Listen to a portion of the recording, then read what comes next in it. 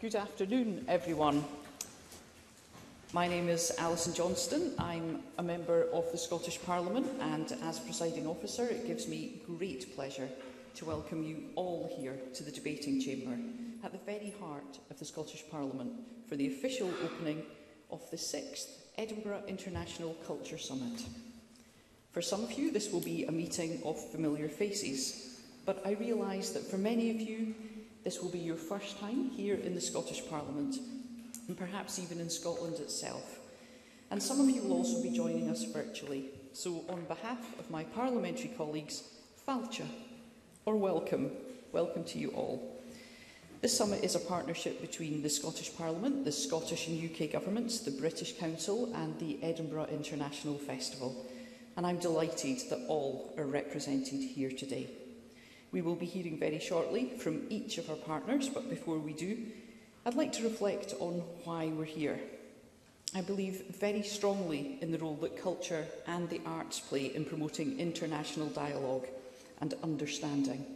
And this summit provides a unique forum for debate and discussion about international cultural policy. Someone who believed very strongly in the role of culture in the arts was Sir Angus Grossart, formerly chair of the Edinburgh International Culture Summit Foundation. Sadly, Sir Angus passed away earlier this year. However, he leaves a lasting legacy through his love for and his contribution to culture and the arts, and I know that he will be remembered fondly by everyone involved with the summit. I hope that you enjoy and take inspiration from your surroundings this weekend. This beautiful building was designed by Spanish architect Enrique Moraes drawing on the Scottish landscape, the flower paintings of Charles, Charles Rennie Mackintosh, and the upturned fishing boats that are still to be seen along our vast and spectacular coastline. The Parliament building itself has become a cultural icon here in Scotland, and as he developed the design, Mariah said that it was a building growing out of the land. His architecture and the Parliament itself, in turn, provoked our national poet, the then Scots macker Edwin Morgan, to write the poem Open Doors, which took the same theme and extended it by linking the Parliament to the people of the land and how our doors must be open to those people. And I hope that you agree that this is a fitting venue for our guests from around the world to gather in to explore the unique role that arts and culture play as a form of exchange to build trust between people, cultures and nations. Thomas Carlyle, a Scottish philosopher from the Enlightenment era, said, Culture is the process by which a person becomes all that they were created capable of being. You don't need me to tell you that culture has the potential to be a force for positive change and to make a huge economic impact too. Culture is essential for our sense of well-being and self-worth. It's often what defines us as nations and individuals within those nations. It is the very, it's at the very core of who we are and what we do and we are conscious of the positive role that the Scottish Parliament can play. Aside from parliamentary business, where issues around culture are debated, throughout the year, this Parliament hosts many cultural events and exhibitions. You may be aware that at the moment the Parliament is hosting the World 2022, the 2022 World Press Photo Exhibition in the main hall. The exhibition showcases significant works from photographers from 23 countries. They share their perspectives on issues including access to education, civil rights, the climate crisis and the preservation of Indigenous ways of life. The exhibition features over 120 award-winning documentary photographs selected by six international regional juries and a global jury chaired by award-winning photographer Rena Effendi. The, overarch the overarching theme of this year's summit, as you will know, is culture and a sustainable future, which weaves together three programme strands that we will have the opportunity to explore in detail over the coming days.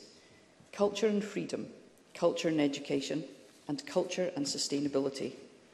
As you can see, we have a lot to get on with. However, in between formal sessions here, I really hope that you'll have the opportunity to make the most of the celebration of the arts that is Edinburgh in August and to take advantage of new opportunities for cultural exchanges, collaborations and friendships. Once again, welcome to the Scottish Parliament. I do hope that you have a very productive and a very enjoyable time here. Thank you.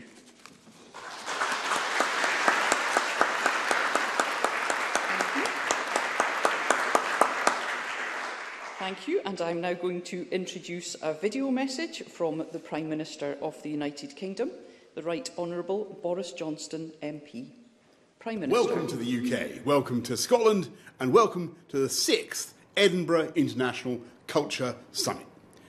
It's great to know that you're all once again permitted to gather en masse for this fantastic fixture in the cultural calendar, to enjoy the unparalleled delights of the festival and fringe, to seek global solutions to the challenges that we all face, and simply to recognise the incredible power of culture, unique in its ability peacefully to unite different people from around the world, uh, as the packed streets of Edinburgh demonstrate every year with nearly 5 million visitors from countries around the world.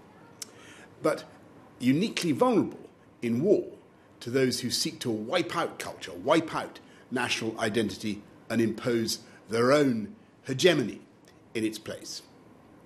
Throughout history, we've seen what happens when aggressors try to oppress and to eliminate culture.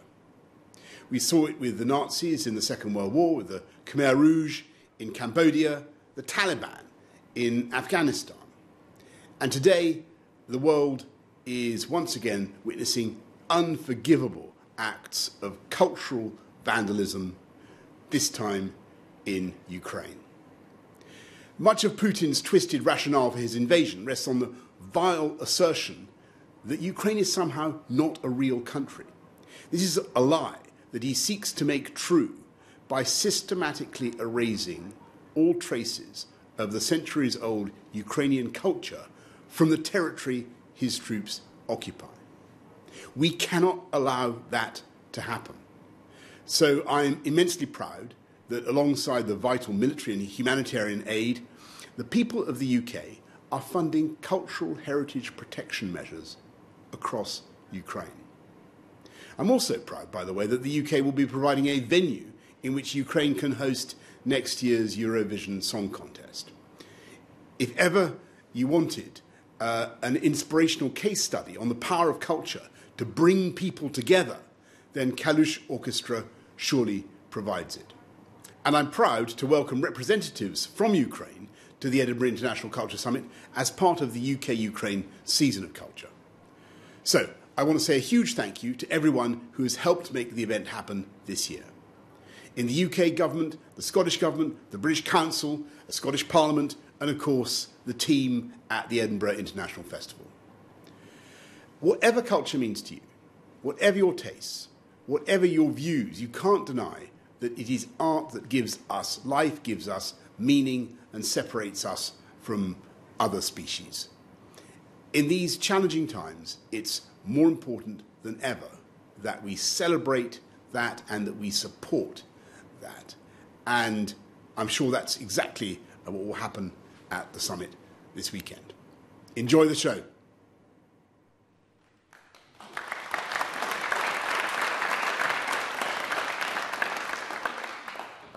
Thank you. And I would now like invite the Deputy First Minister of Scotland and Cabinet Secretary for COVID Recovery, John Swinney MSP, to address Summit 2022. Deputy First Minister.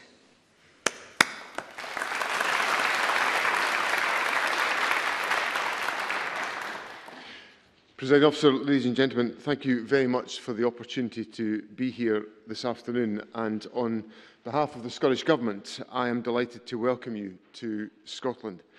Our country has a long tradition of extending the warm hand of friendship to people who have come from many places to join us, and it gives me particular pride that you've all joined us for this important cultural summit. Our capital city, Edinburgh, is twinned with the city of Kiev, and I'd like to thank Minister Kachenko, the Ukrainian Minister for Culture, for joining us digitally from Ukraine, and offer Deputy Minister for Culture, uh, Grigorenko, Uh, a warm welcome to Scotland. Thank you both for joining us for this important exploration of culture and a sustainable future together. The Scottish Government condemns Russia's unprovoked invasion of Ukraine. We stand in solidarity with the people of Ukraine at this incredibly difficult time. Our country stands for democracy, for human rights and the rule of law at home and abroad we stand in solidarity with Eastern European countries whose proximity to Russia and the experience of the Soviet Union means that we should listen to them when they advise us how to address President Putin's violent expansionism. Culture is truly an international language, and your presence here speaks to our shared belief that culture is of central importance to every society. It also demonstrates our shared commitment to improve the way we support and promote our cultural sectors. In my view, enjoying culture deepens our understanding and empathy with countries with which we may have no direct personal experience. This recognition that culture can promote international understanding motivated the creation of the Edinburgh International Festival 75 years ago. In an age of austerity, it required real vision to decide to spend money on supporting an international arts festival all those years ago. However, from the very beginning, the people of Scotland rallied enthusiastically to welcome the world. This was partly for economic reasons. Scottish businesses then, as now, enjoyed welcoming the visitors who have been encouraged to come to Edinburgh. But there was a more fundamental reason for the festival's success. The, the Landlord Provost of Edinburgh, Sir John Faulkner, summed this up in his founding philosophy of the Edinburgh International Festival. So John said, the cultivation of the arts, the increase of prosperity, and the development of universal friendships are matters which outreach our boundaries, and the rebirth of joy and enthusiasm in life makes for a people's strength and happiness and health. Those ideals of friendship and working towards the common good are at the very heart of Scotland today and promoting the strength and happiness and health of our people, as Sir John Faulkner put it, should be the chief aim of every government. In my work as Deputy First Minister and in representing a, a wonderful part of Scotland in the county of Perthshire, I see the benefits of cultural participation that are brought to communities right across the communities I represent and right across the country. The way in which cultural projects can inspire everyone from the very young to the very old, and the impact of our artists when they perform overseas. In all of these ways and many more, I see how culture inspires, sparks emotions, and creates new connections. We are a nation that cherishes culture for its empowering and transformative power. We recognise the value that culture in and of itself has and we want everyone to be able to experience its transformative potential. If you get a chance to read the quotations that are engraved on the wall of this building, the Canongate wall, just out on the, uh, on the main road uh, going up into uh, to the old town, you'll see that poetry is literally crafted into the walls of our Scottish Parliament. The value of our strong cultural sector cannot be overestimated. We know that the vibrancy of cultural life is essential to national and individual well-being.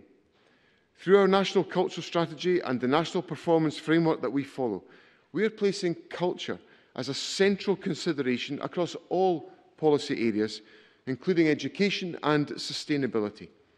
We recognise culture as central to the prosperity of Scotland are investing in the future of the cultural, social and economic success of Scotland.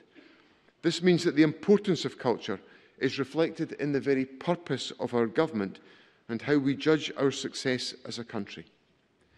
It is the responsibility of all of us to nurture and sustain the creativity that resides in each and every person.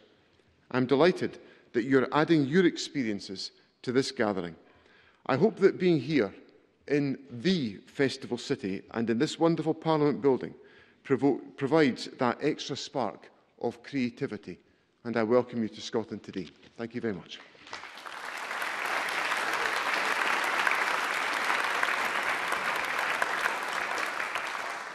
Thank you, Deputy First Minister. To welcome guests on behalf of the Government of the United Kingdom, I would like to invite the Right Honourable Lord Parkinson of Whitley Bay, Parliamentary Under-Secretary of State, Minister for Arts, Department for Digital, Culture, Media and Sport, to speak. Lord Parkinson.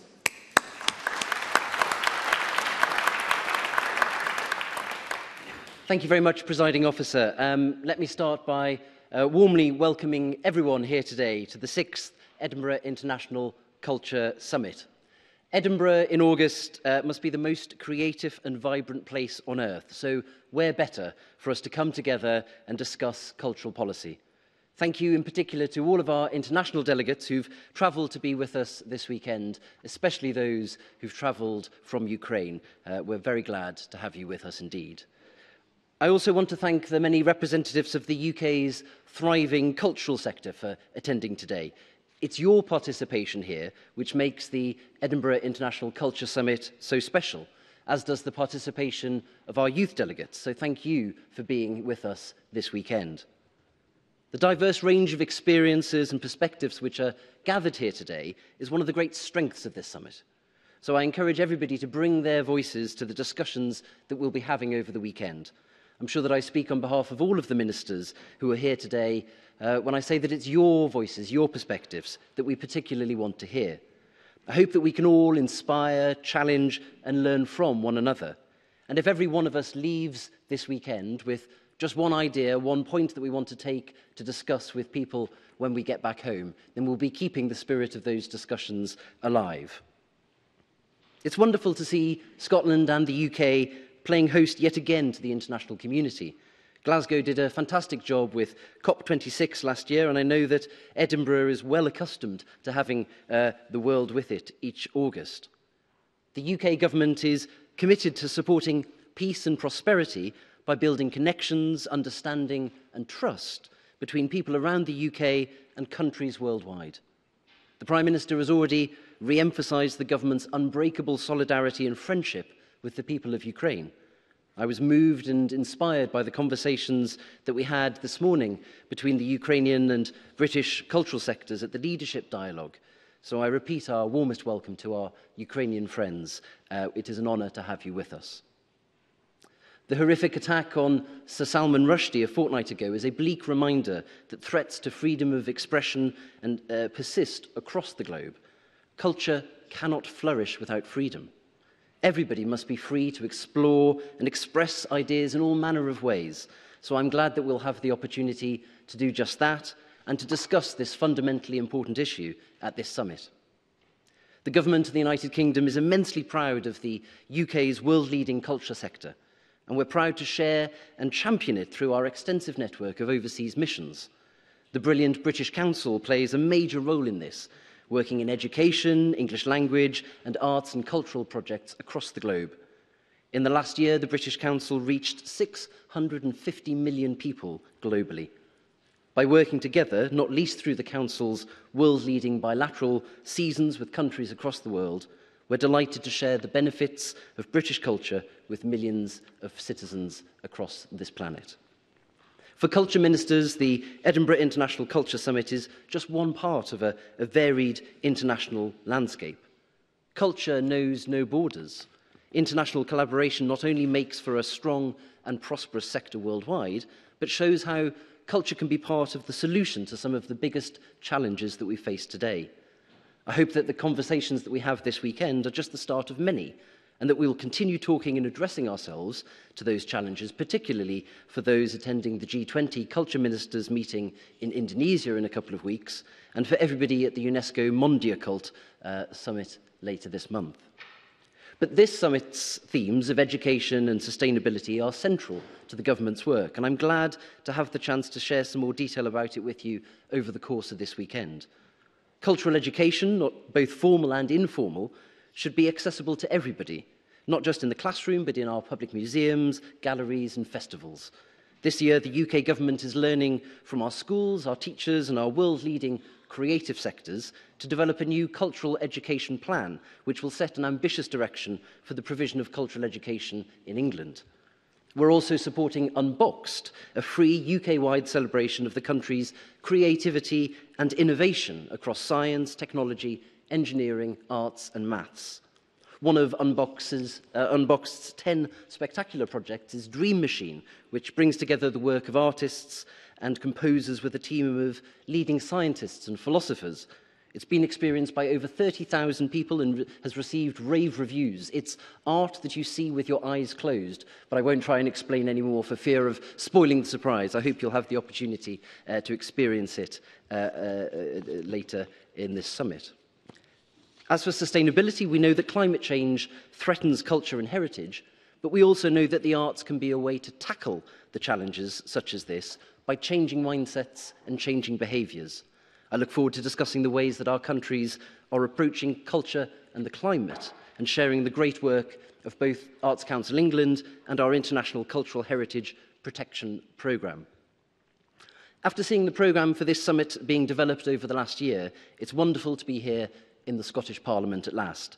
I've seen at first hand the huge amount of work that goes into making this event happen. So I'd like to conclude by echoing the Prime Minister's thanks to the Edinburgh International Culture Summit Foundation for all of the work which has led us to this point and to the support that's been given by all the partner organisations.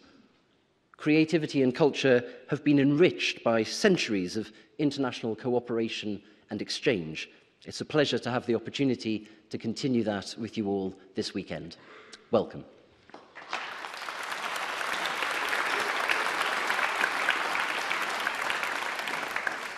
Thank you, Lord Parkinson. To welcome guests on behalf of the Scottish Government, I would like to invite the Right Honourable Angus Robertson, MSP, Cabinet Secretary for the Constitution, External Affairs and Culture to speak. Angus Robertson, MSP.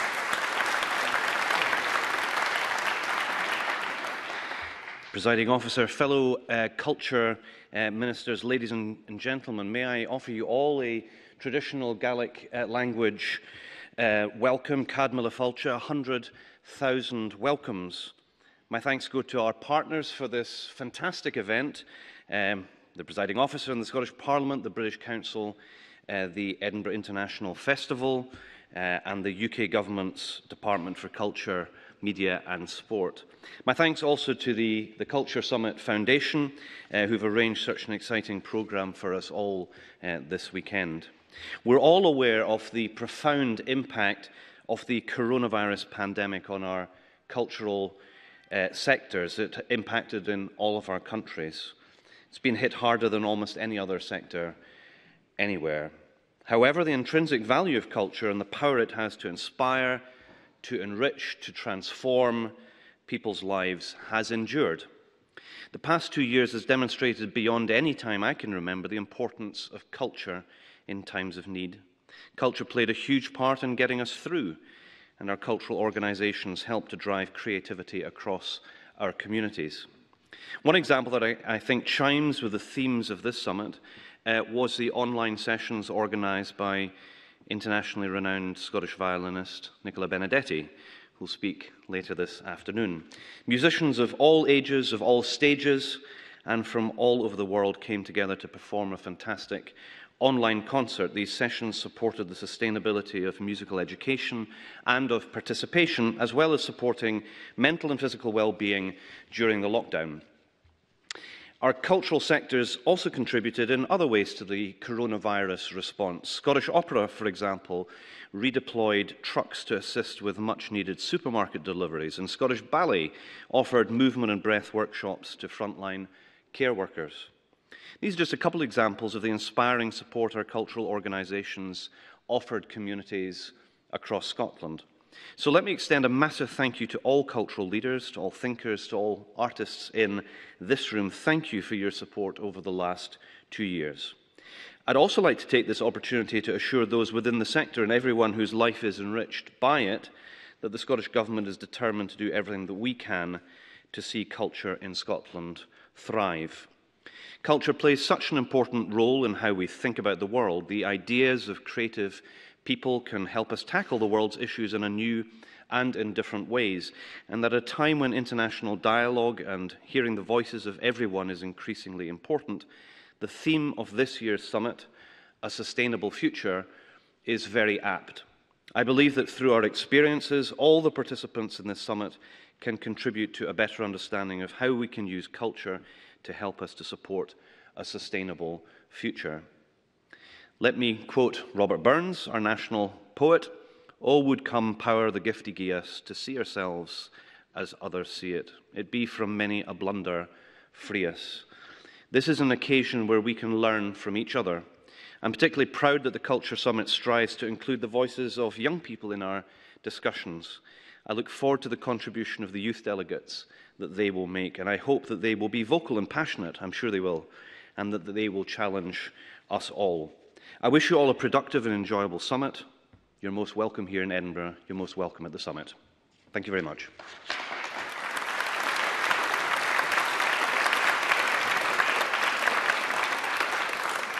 Thank you, Cabinet Secretary. I'm now pleased to invite our first keynote speaker to address the summit, Professor Irina Bukova, former Director General of UNESCO. Prior to her role at UNESCO, Professor Bukova was Foreign Minister of Bulgaria Professor Bokova has attended previous summits, but today will join us digitally. Professor Bokova. Thank you very much, uh, Madam Presiding Officer ministers, uh, members of parliament, uh, ladies and gentlemen, I'm delighted indeed uh, to be again in this, uh, uh, albeit from a distance, in the sixth Edinburgh Cultural Summit under the topic of culture and sustainable future, where the link between culture and education and sustainability will be discussed. Such a topic resonates deeply with my experience as Director General of UNESCO particularly during a time when the organization made a huge effort uh, in the advocacy to integrate culture in the United Nations Sustainable Development Agenda 2030. I'm delighted equally that this impressive culture summit is held in the city of Edinburgh, a place where the old medieval town dominated by a medieval fortress and the neoclassical new town whose development from the 18th century planning had a far-reaching influence on European urban development. And already in 1995, they both were inscribed on the World Heritage List. I believe they both remind us of the power of World Heritage, one of the most transformative, visionary, and positive ideas of the 20th century the idea that heritage belonging to different cultures may represent outstanding universal value and should be protected by international law embodied in the World Heritage Convention, whose 50th anniversary we celebrate this year. The leading figures of the Scottish Enlightenment, David Hume, Adam Smith, Robert Burns, and so many others, lit the flame of modern humanism, inspired by a profound belief in the power of reason and positive change, in the imperative of creating and sharing knowledge, in the power of history also. In the words of David Hume, a man acquainted with history may be said to have lived from the beginning of the world and to have been making continued additions to his stock of knowledge in every century. I believe we, knew to, we need to renew this spirit of enlightenment and craft a new humanism of those turbulent times that we are living and culture and heritage can give us the key to many of the current challenges.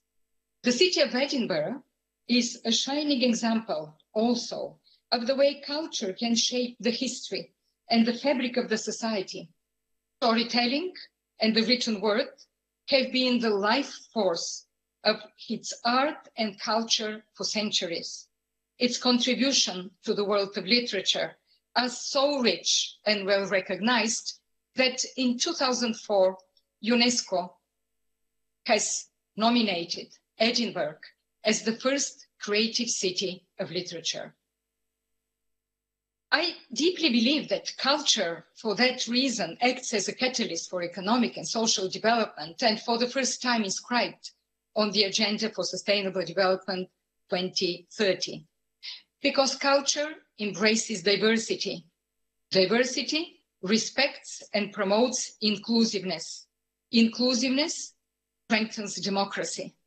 Culture transcends and determines our way of life. It informs and educates, encourages self expression, galvanizing the citizens' engagement. The technological revolution and its disruptive impact puts in front of us another challenge, how to ensure widest possible dissemination of culture and arts, protecting the role of the artist while resisting to hate speech, racism and xenophobia, among others, and denote the fundamental prerequisite of inclusive societies, the right of everyone to participate in debate as free and equal individuals. Scientific research, ladies and gentlemen, show time, times and times again that there is a close link between education and culture and that art education has an extremely positive impact on academic achievement, on social and development, uh, emotional development, on civic engagement, and I would say equal opportunities later on in life. But not only. Teaching philosophy or history of art and culture is fundamental for the opening of young minds towards the diversity and the other.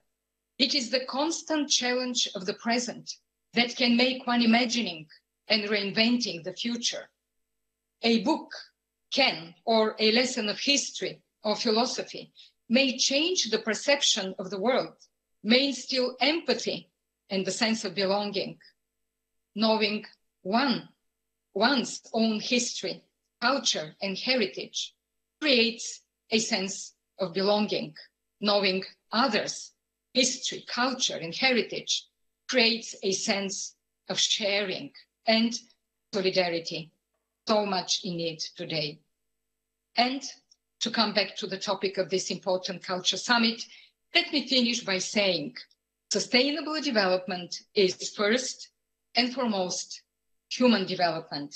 It cannot be built solely in the economic sphere. It must also be built on culture. Thank you for your attention and I wish success to this important event.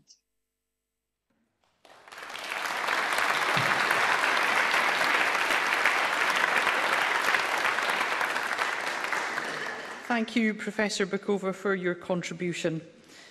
I am now very pleased to invite our second keynote speaker on the culture and freedom theme, Oksana Zabuzhko. Oksana is Ukraine's major novelist, essayist and public intellectual and will today address the summit about the challenges of cultural freedom in our world. I'm particularly grateful to Oksana and the other delegates from Uk Ukraine who have joined us at this very difficult time. Oksana.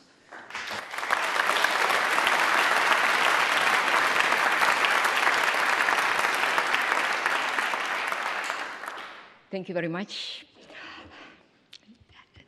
Thank you, dear presiding officer, dear ministers, dear parliament members, dear friends.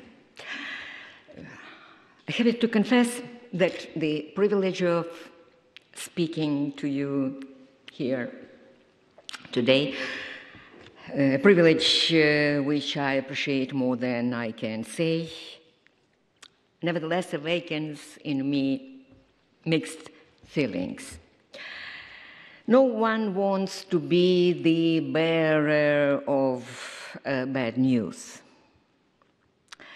Yet, alas, uh, that's exactly uh, the part I am destined to play here.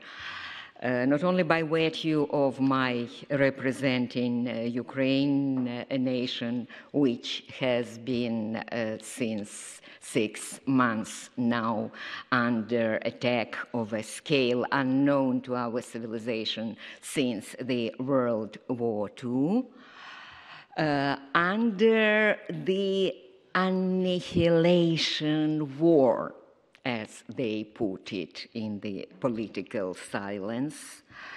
Uh, that is uh, the war uh, aimed to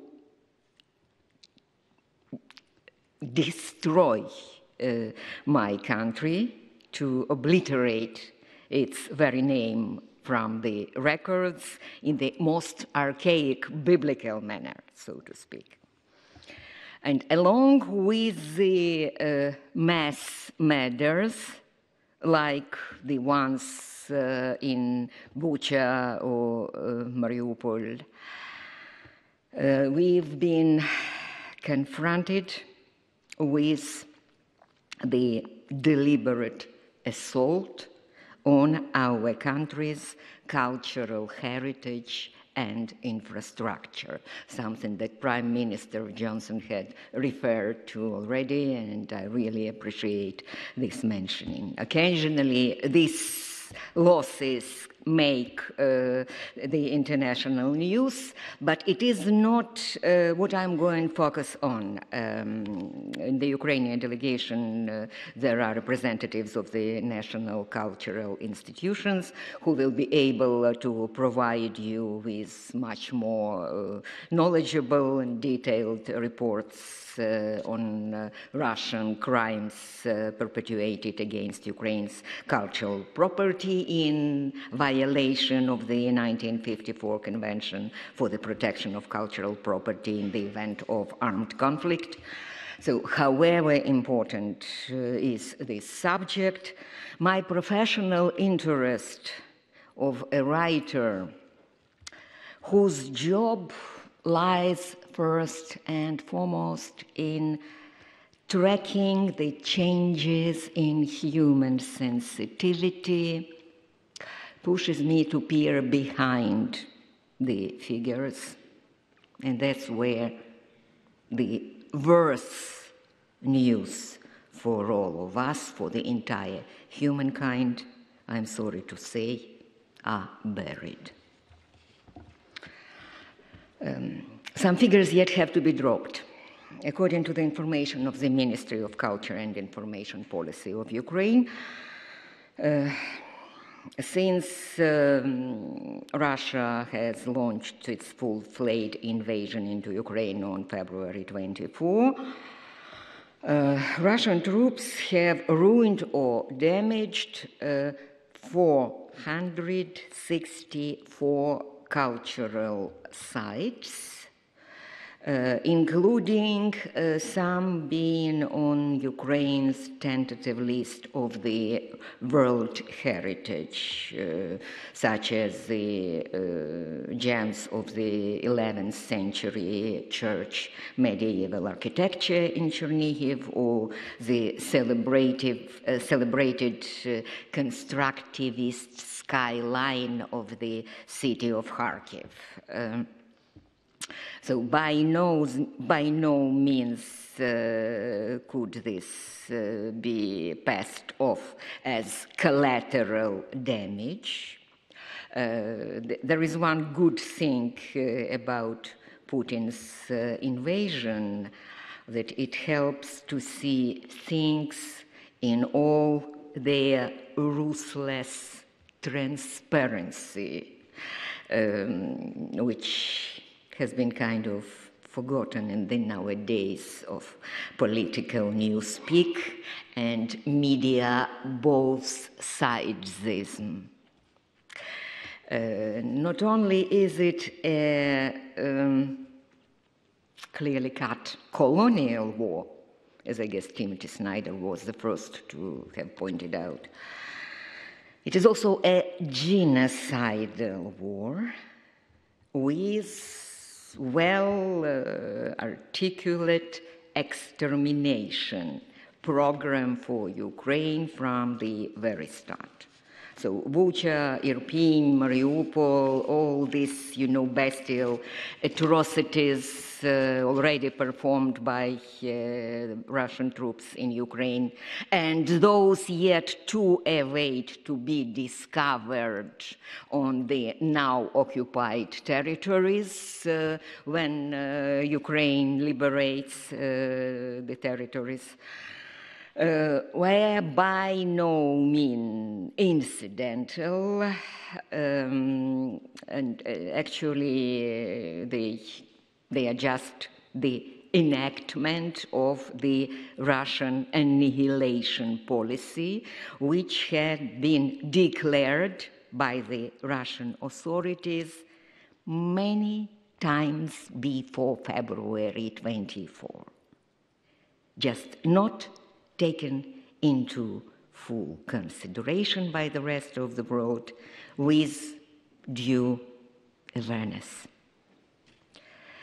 Um, when uh, Russians enter a village or a town now in Ukraine, they start with purges uh, aimed at three categories of uh, civilians, of the civil population. Uh, the military, the priests uh, of uh, two independent Ukrainian churches, the Orthodox Church of Ukraine and the Greek Catholic Church, and the intellectuals, ranging from the school teachers of Ukrainian to the published authors. Among those first executed in Bucha was Alexander Kisluk, 60 years old, translator of Tacitus and Xenophon into Ukrainian. Um, in uh, the similar cases are reported from the other places uh, mm, as they get liberated by the Ukrainian forces. Uh, in Kherson region, which is under the occupation, teachers are now compelled to teach students after the Russian textbooks. And since the majority of teachers refuses, the proper teachers are being now brought from Russia to replace them, along with Russian journalists, Russian theater directors, and other representatives, what is known as Russian culture and what is seen in Russia as soft power. Well, and uh, yeah, Ukrainian books are being removed from libraries and destroyed. The procedure, incidentally, which in the past eight years have been on a systematic, regular basis performed in Donbass, in this Russia controlled, Russia occupied territories in Donbass, along with dismantling uh, Ukrainian monuments, including the great uh, of the Donbass born uh, Soviet Ukrainian dissidents, and the memorials to the victim of the Grand Famine of 1933. These were clearly recognizable acts of cultural genocide, though on much lesser a scale than now. And noteworthy, they were passing unnoticed for the rest of the world, as did, for instance, the attack on the Ukrainian library in Moscow back in October 2015, when the library was ransacked by the FSB special unit, its director detained, and were it not for my own books reported among ones confiscated, I would have then probably seven years ago heard of this cultural purge as little as you have in the United Kingdom. And that's where I come to this very important question, which has been occupying me for these six months. How come it's only now that the Kremlin's goal to destroy Ukrainian culture has become visible and subsequently has made visible the very fact that Ukraine does boast an ancient, centuries old grand culture, which might make, in the eyes of the imperialist neighbor, a subject of the burning envy and of the herostratic desire to annihilate it. For, let me reiterate, Putin does not do anything innovative. He's simply going on with the same annihilative politics which, back in 1876, made Tsar Alexander II to sign the decree according to which supporting Ukrainian culture was qualified as criminal deed and made the suspect subjected to legal persecution. The decree, the so called Ems decree, was in place until the collapse of the Russian Empire, then, of course, condemned by Lenin, which helped him to gain the sympathies of the Ukrainian political elite of the time. Uh, then tacitly restored by Stalin under different names, of course. And up to the collapse of the Soviet Union, Ukrainian culture have been remaining in the endangered condition with some 400 cultural heritage sites demolished in Kiev alone. The figure comparable to the destructions made by the Russian troops in Ukraine in the past six months with bombs and missiles. So it's back to this practice that Putin's current imperial resentment and restoration ambition go. So, how come this cultural politics of Kremlin had flown under the radar, had been remaining unnoticed for nearly a century? We have recently marked the 70th anniversary of destroying the Ukrainian collection of National Museum in Lviv. On July 31, 1952, over 2,000 artworks from the so called Special Fund, Special Holdings, the innovation of the Soviet uh, uh, censorship mostly by the authors qualified as Orwellian non persons due to their artistic or political choices, among them Alexander Archipenko, Kazimir Malevich, and others.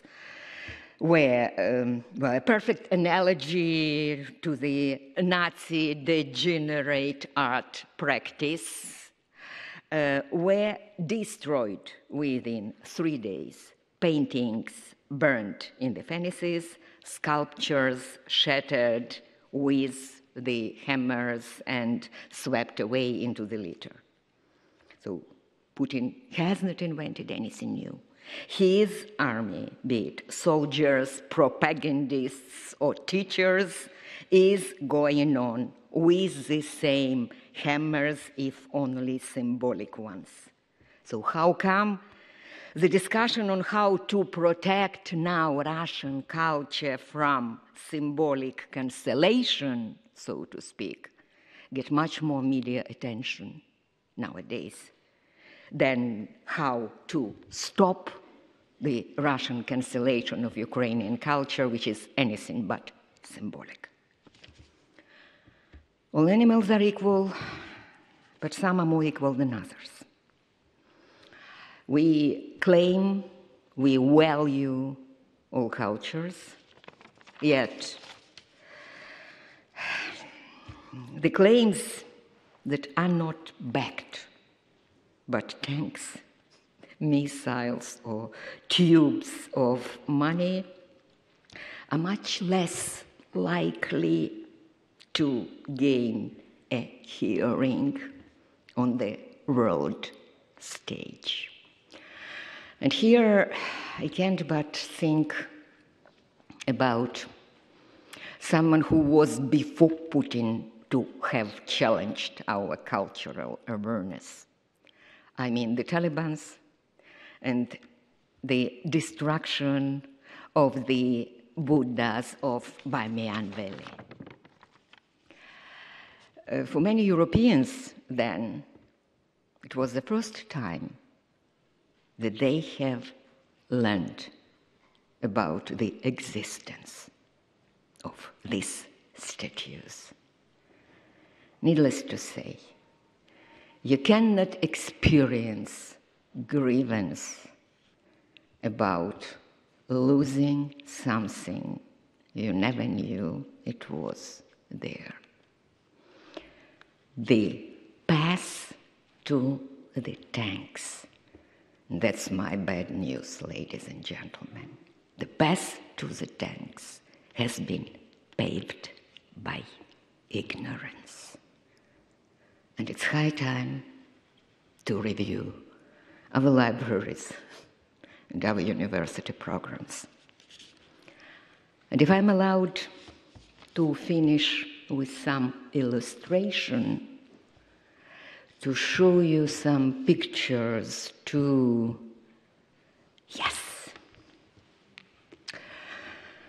to make my point clearer. Here you can see the mosaic authored by Alla Horska, uh, one of the leading Ukrainian artists of the 60s, who was killed by the KGB in 1970. This individual terror against Ukrainian intellectuals had not been unusual at all at the time. Uh, these are the mosaics from her mosaics from Mariupol. And this is what has become of them now, 52 years after Horska was killed by the Kremlin.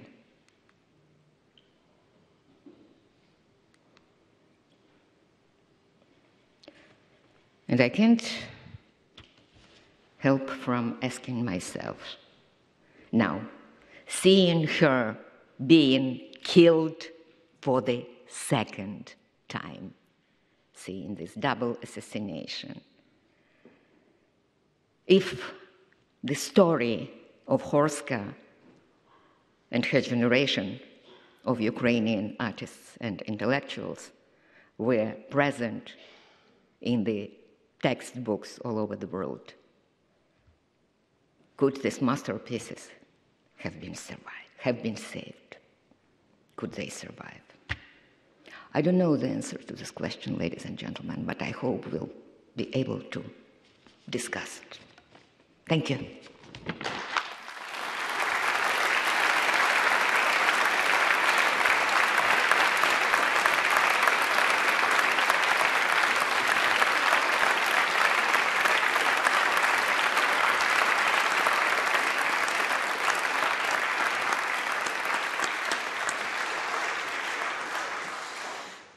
Thank you very much, Oksana. Very powerful contribution. I would now like to open the next section by the next session by going live to Kiev, where we will be joined by the Minister of Culture and Information Policy of Ukraine, Alexander Tchenko.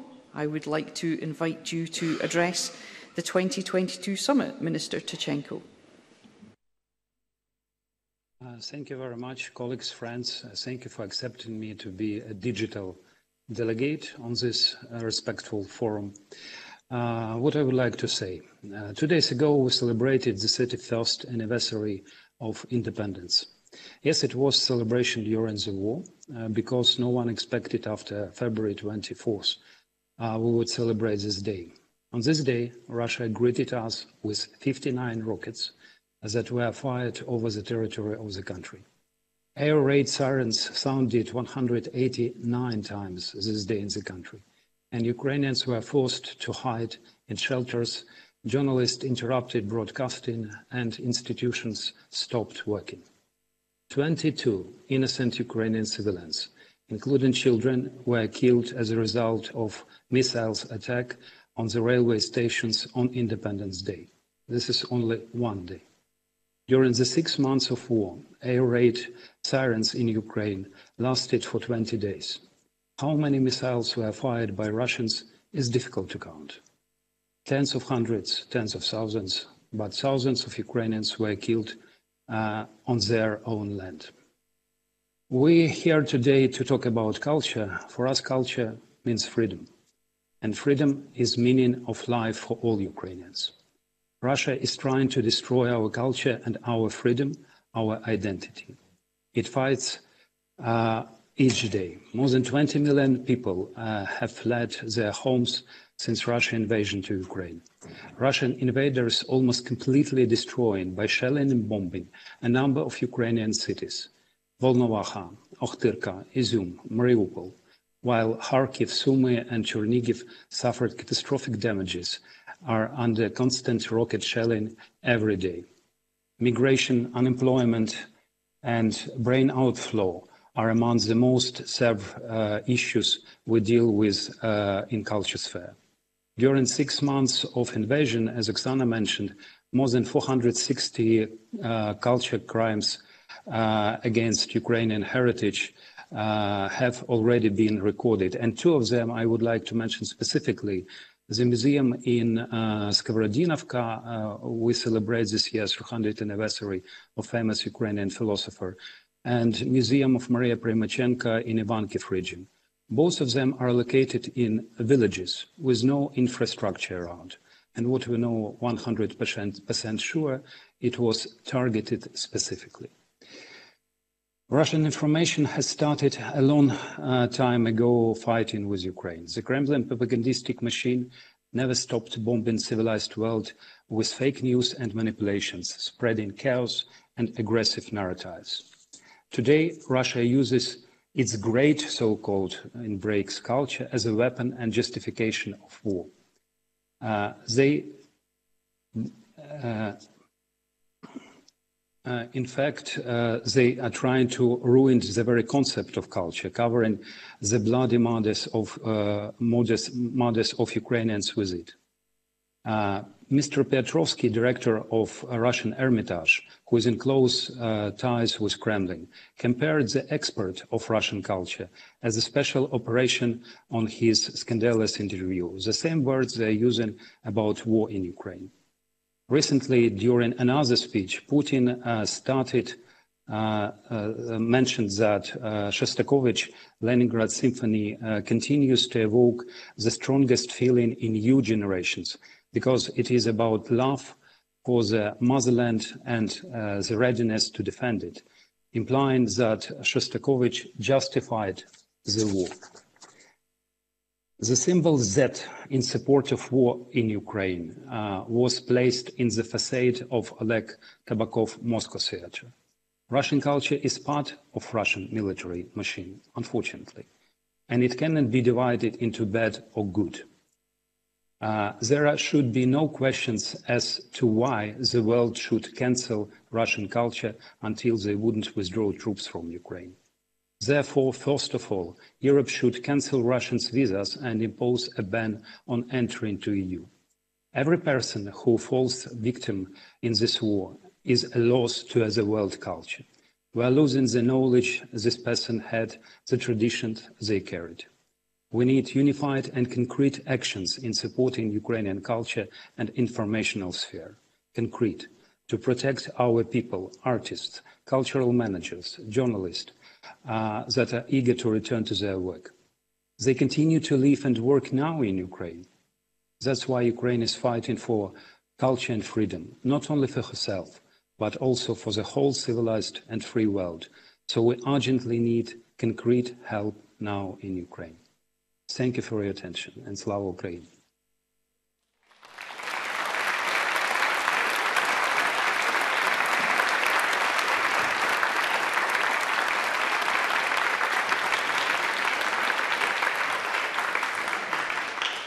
Thank you, Minister Tkachenko.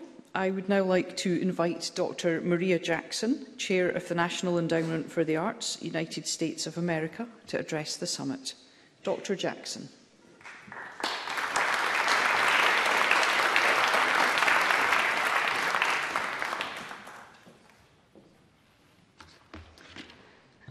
Good afternoon. Right Honourable Alison Johnstone, Presiding Officer of the Scottish Parliament, and members of Parliament, thank you for your invitation to join the Edinburgh International Cultural Summit and to the, for this opportunity to address this distinguished group.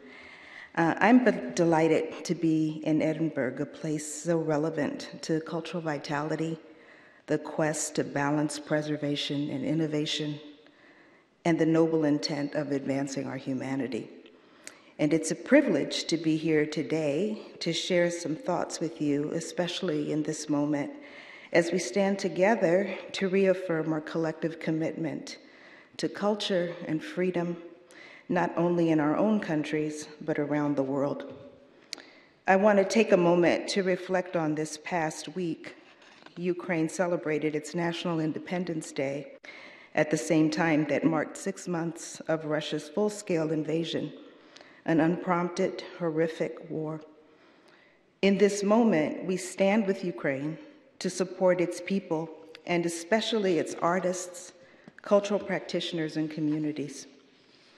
Today, uh, in earlier sessions with an inspiring delegation from Ukraine, I was struck by the passion and commitment uh, exhibited by the delegation and the reminder that arts and culture are core to our identities as nations and as a global community.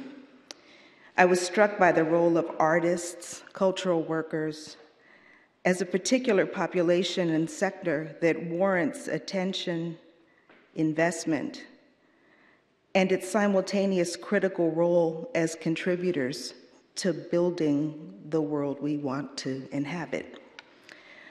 I was also struck by the necessity to think simultaneously about the need to tend to immediate needs, needs of survival, and the long term need for planning and rebuilding, rebuilding communities that are healthy and opportunity rich, communities where all people can reach their full potential, communities where our human interdependence is understood, and communities where freedom rings. These global conversations remind me of why um, someone, is me, who's trained in urban planning and comprehensive community development, chose to shape my career around arts and culture. And my commitment to the arts started early, and it started at home. And it wasn't because my parents were artists or were wealthy arts patrons. They turned to the arts because within a UN, US context, they needed resources to help raise my brother and me, uh, black and brown kids, to be proud of our cultures and recognize our common humanity with others. And they relied on the arts for this. So early on, I understood that artists, culture bearers, designers were necessary in so many different ways. They help us make sense of the world. They offered us different ways of thinking, feeling, and being. They were a source of inspiration and innovation, and they were critically important to our resilience. And importantly, um, artists also helped us protect and advance our humanity. So, early on in my career, sometimes I was discouraged from a focus on the arts, and I would have well meaning colleagues say, uh, you care about the causes and consequences of injustice, you want to address racist structures and improve neighborhoods. Why are you focusing on this arts and culture stuff? As if I was uh, off mission. And I didn't have the words to explain myself early on, but eventually I found the world, the words, and if you look around the world and throughout the ages, in strategies to disempower, the first thing that is tampered with is one's ability to make meaning, to ask questions, to have aesthetics, to express yourself creatively, to do the things that we do through art. We see this today at a horrific scale in Ukraine, and we see it in other ways uh, around the world, in other very insidious ways. So I always ask if it's so powerful that it has to be tampered with in order to control or oppress, why don't we understand it as core to building justice and building the communities that we want to see? I believe deeply that arts and culture are important and warrant attention, period. I also believe deeply that at their most powerful, the arts don't exist in a bubble. The arts have to be woven into what I think of as our social and civic infrastructure. And our social and civic infrastructure involves the mechanisms and relationships that we rely on to care for each other. The arts are often preconditions necessary for so much of what we say we want to achieve as a just society. And engagement in the arts, we know, cultivates curiosity, empathy, imagination, the ability to hold nuance, both individual and collective agency. Engagement in the arts is critical to our health and our well being, to our economies, but it's also critical to helping us get unstuck. It's critical to helping us see things differently, to behave differently, and land places where we haven't landed before. From my perch at the National Endowment for the Arts, I think about the idea of freedom through the lens of advancing artful lives. I think about building healthy arts ecosystems that support the connection between the arts uh, and other sectors education, health, economic development, transportation, environment, so many of the issues that we must tend to. And I think that considering the integration of arts, culture, and design now feels particularly important and generative at a time when we have to tend to the immediate and also plan for the future. So, this is a time where there's an opportunity to perhaps not do what we have always done and an edict to repair. So, the question that I often ask is can we resist the impulse to just go back to business as usual? Or can we actually learn from the lessons available to us and proceed in a way that's informed by our examined experience? So, the invitation, or perhaps the obligation, is to pause and consider what was, must we see differently? How do we devise new or different ways of working? Because we have to do this in order to do the real work of repair. So, I'm inspired um, by our leaders in Ukraine and hopeful that the artists who are stepping up to respond and help us imagine a different way of moving forward, that they actually signal um, stepping into a new space, a new age. I'm inspired by the work that we might do together as global citizens. And mindful of the challenges ahead, I'm also deeply hopeful about what's possible. Thank you.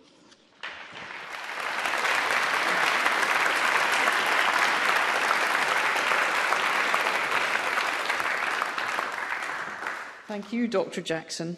And I'd now like to invite Peter Glinski, the Deputy Prime Minister and Minister for Culture from Poland, to speak. Ladies and gentlemen, Poland and Polish society is absolutely appalled by the unprovoked attack by the Russian Federation on our direct neighbor, Ukraine. All Poles are deeply touched and horrified by the human tragedies taking places right next to us. The scale of engagement of Polish citizens to provide aid to the fighting Ukraine is unprecedented in the world's history. 70% of Poles have been involved in helping refugees during the first three months of the war. They were engaged at the massive scale in relief actions, money collections, purchases, and transportation of essential items, and last but foremost, providing their own housing to the refugees.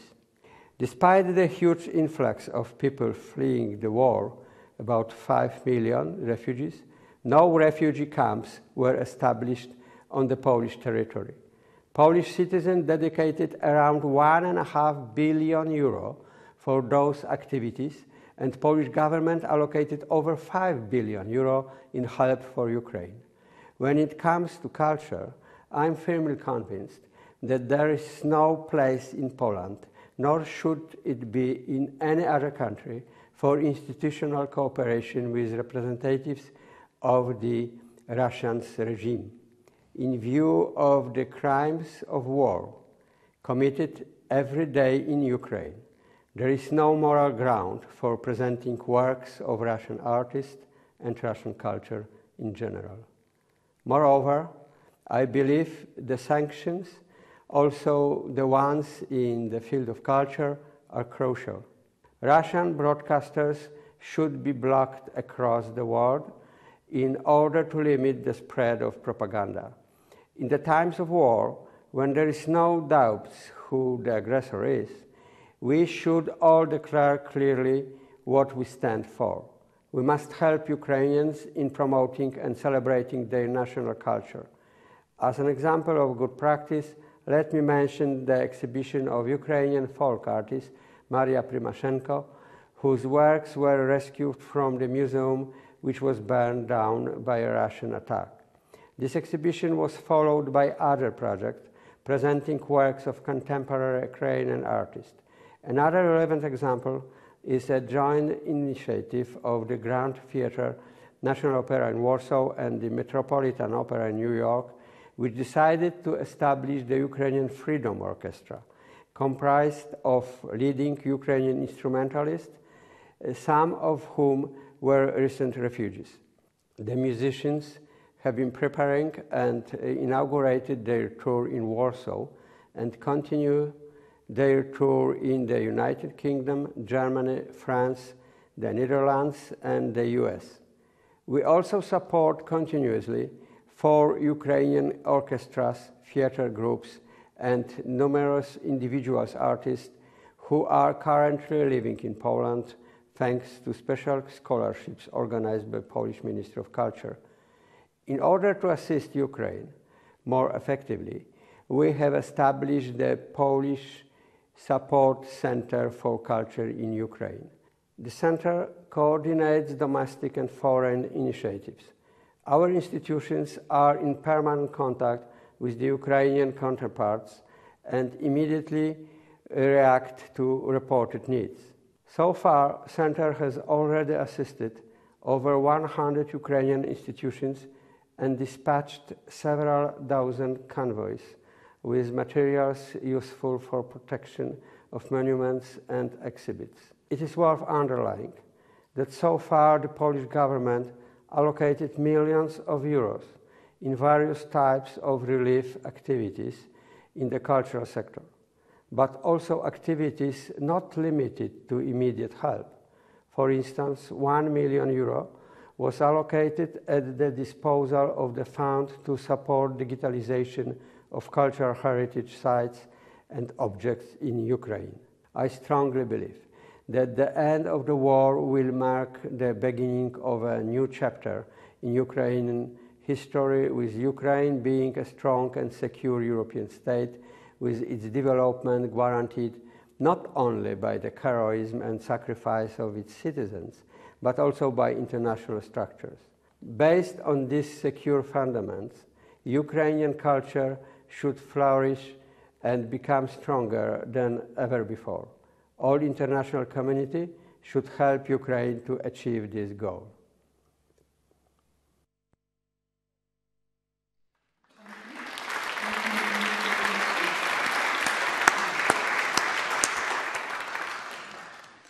I would now like to invite the first of our youth delegates to address the 2022 summit. this summit is particularly proud of the work it has done with young leaders from the cultural and policy sectors. And I am therefore delighted to invite Heba Alwadi to speak. Heba is one of the cast members of the Trojan Women Project that brought an old tale from an ancient civilization, Syria, to life in contemporary Scotland. Heba was born in Syria but now lives in Scotland where she is studying psychology at Glasgow Caledonian University.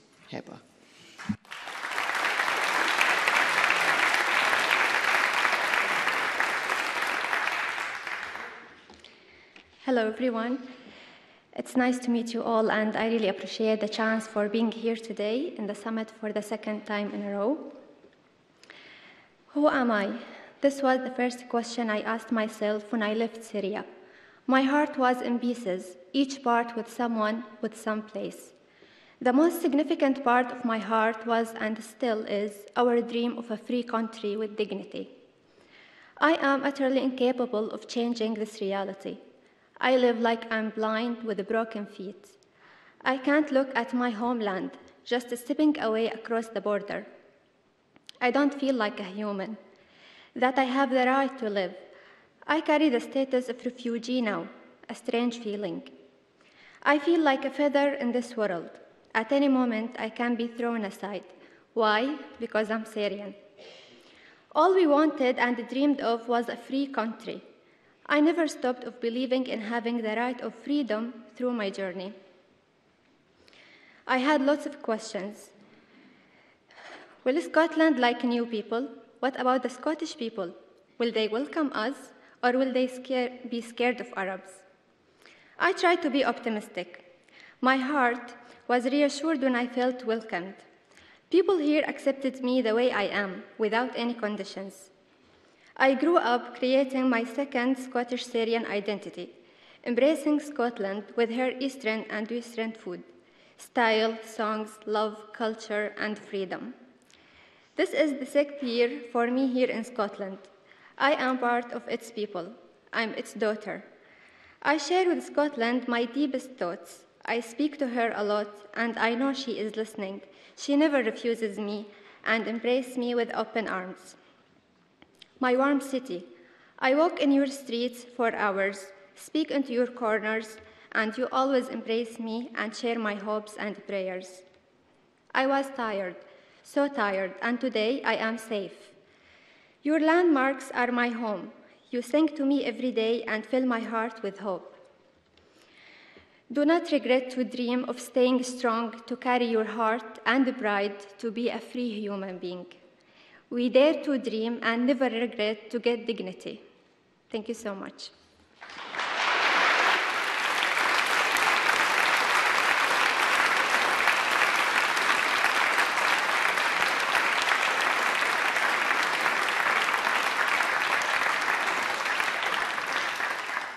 Thank you so much, Heba. I'd now like to introduce Marina Krut, a Bandura virtuosa, who will perform from the gallery. Marina is more, more famously known as Krut B, is a renowned Ukrainian singer and songwriter.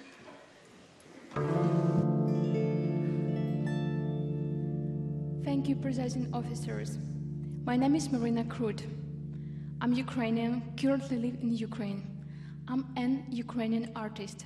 In my hand, Ukrainian traditional instrument called bandura. I play on this instrument more than 18 years. I visited all the country and more than three continents. Also, I'm volunteer. This is beautiful instrument with ethnocode, Ukrainian ethnocode, and also with uh, many strings, 65. Yes. Also, like all Ukrainian people, now I'm a volunteer. So two weeks ago, I was in Donetsk region, play for our brave guys and women who fighting for our freedom. I say, I said, Alexander and Oksana, Ukraine need help.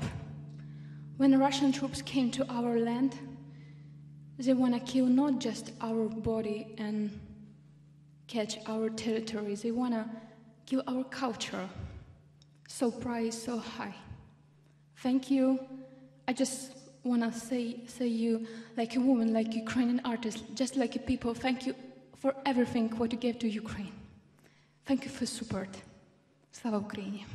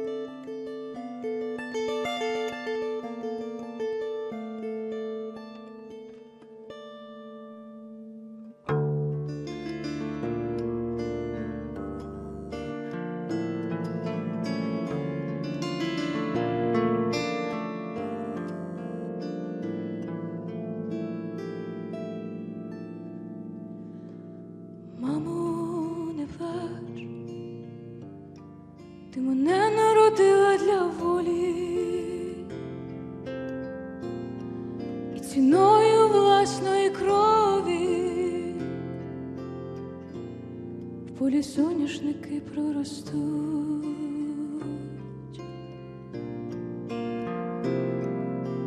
Мамо, я в путь, бо немає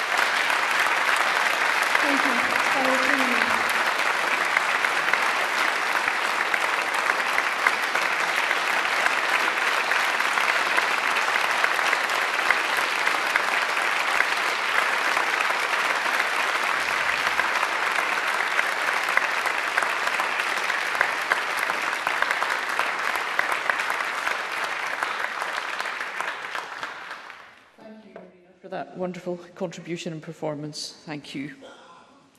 Now, to lead us into the next session, I would like to invite Sir Jonathan Mills, Programme Director for the Edinburgh International Culture Summit, to give an overview of what we should expect over the next three days before we hear from a number of keynote speakers on the other themes that combine to form this year's summit. Sir Jonathan.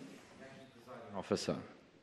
Your Excellencies, my Lords, ladies and gentlemen, may I add my very warm welcome to those of the presiding officer, the Prime Minister, the Deputy First Minister, the Cabinet Secretary and the Minister of State for the Arts.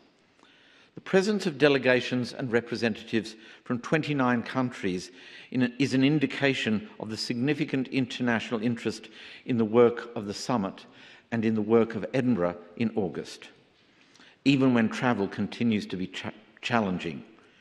As the presiding officer observed, Summit 2022 was always planned as a hybrid event. We are especially delighted that so many of you are with us in person and looking forward to a very stimulating dialogue. I am particularly grateful to the participation of the Deputy Minister of Culture and Information Policy of Ukraine, Galina uh, Grigorenko. Welcome. It seems totally inadequate to mention now, after the extraordinary, passionate um, uh, addresses we've had. But when I was a music student in Sydney in the late 1980s, our tight knit group was augmented in second year by the arrival of a larger than life musician called Victor. He was Ukrainian. He was accompanied by a strange instrument whose identity was obscured by its travel case, its shape and size being entirely unfamiliar. Was it an overblown French horn, some strange gigantic lute, or a pair of colossal cymbals? It was a bandura the distinctive Ukrainian instrument that was prohibited and purged throughout Ukraine from the 1930s. 200,000 bandura players killed, two and a half million of the instruments smashed. The same instrument that you just heard Marina Krut play a moment ago. In revealing this instrument, Victor forced a bunch of laid back, complacent Aussie teenagers to confront the inconvenient truths and uncomfortable situation of artistic censorship and suppression. He revealed the dangers associated with playing his instrument. The very notion of being censored or worse, seriously injured or killed just for plucking a few strings on a plank of wood was simply beyond the comprehension of an Australian in the late 1980s. I would like to think it's still beyond our comprehension today. Earlier this morning, the summit co hosted a cultural leadership dialogue with the Ukrainian Institute. It was a deeply moving occasion, especially for those of us who live in countries free from armed conflict. It was a rare opportunity to listen and to learn and to consider the importance of culture and identity in the lives of individuals in myriad places throughout the world. Over the next two, three days, we will extend that discussion from culture and freedom to its associated components culture and education, and culture and sustainability. Culture and education is an expression and a way by which we achieve freedom and culture and freedom and culture and education are the best ways to ensure that we live in a sustainable community. You will hear and meet a choreographer, an environmental scientist, a diplomat, and several entrepreneurial musicians who are, are, passionate about the relationships between land and language, sky and seeing, oceans and music, mountains and sculpture. You will also hear from a virtuoso violinist, several economists, a finance minister, cutting edge, edge technical technology entrepreneur, and a stand up comic to encourage us to think more creatively about the ro role that culture plays in the education of children, how digital technology and video games can be especially useful to encouraging an awareness of our own particular cultural inheritances. This year, the summit celebrates 10 years of existence. Previous summits have invited a diverse range of artists to address a broad series of questions of relevance to the cultural sector. Culture as an international dialogue in 2012, Culture a Currency of Trust in 2014, Culture Building Resilient Communities in 2016, Culture Connecting Peoples and Places in 2018, and a special digital edition in 2020, The Transformational Power of Culture. All of these topics, I think, suggest a coming together, a bringing together, a cohesiveness that culture brings different communities. What are the lessons I take from these diverse and inspiring conversations? That we live in a world where no single culture, ideology, theocracy, or politics will be all pervasive or dominant. A world in which knowledge comes from hugely diverse sources and locations The abundant example of the admi artists, administrators, policymakers, and politicians at culture summits in the last decade is that we can, indeed must, learn from each other. That comparing best practice from wherever that might occur exploring how to adapt a great idea or innovative policy in very different contexts, to always keeping an open mind, most definitely yields benefits to every citizen in every community throughout the world. The German sociologist Best known for his work on international defence and security, Ulrich Beck expresses it this way as he implores us to have the courage to make use of one's cosmopolitan vision and to acknowledge one's multiple identities, to combine forms of life founded on language, skin, colour, nationality, or religion with the awareness that, in a radically insecure world, all are equal and everyone is different. Summit 2022 coincides with the 75th anniversary of the Edinburgh International Festival, a celebration that owes its origins to the profound desire to rebuild a sense of community in a continent that had been torn apart by, two, by the tragedy of World War II. On behalf of its founding partners, the British Council, the Scottish Parliament, the Scottish and UK governments, the summit offers its heartfelt congratulations to the festival on its success and resilience over so many decades. In practical terms, this summit is in two parts. A series of short public presentations here in the debating chamber, along the lines you've just heard. These are the impetus for longer and more detailed discussions and debates which, in which you will participate in private session. The work of the summit is supported by the Edinburgh International Cultural Summit Foundation, an independent charity. In, on behalf of the summit partners, I would like to thank the trustees of the foundation, alongside all our corporate, philanthropic, individual supporters for their contributions to Summit 2022. We wish you all in your deliberations at the Edinburgh International Culture Summit and hope that your time in op wish you well in, in, at the summit and hope that your time in Scotland is inspiring and rewarding.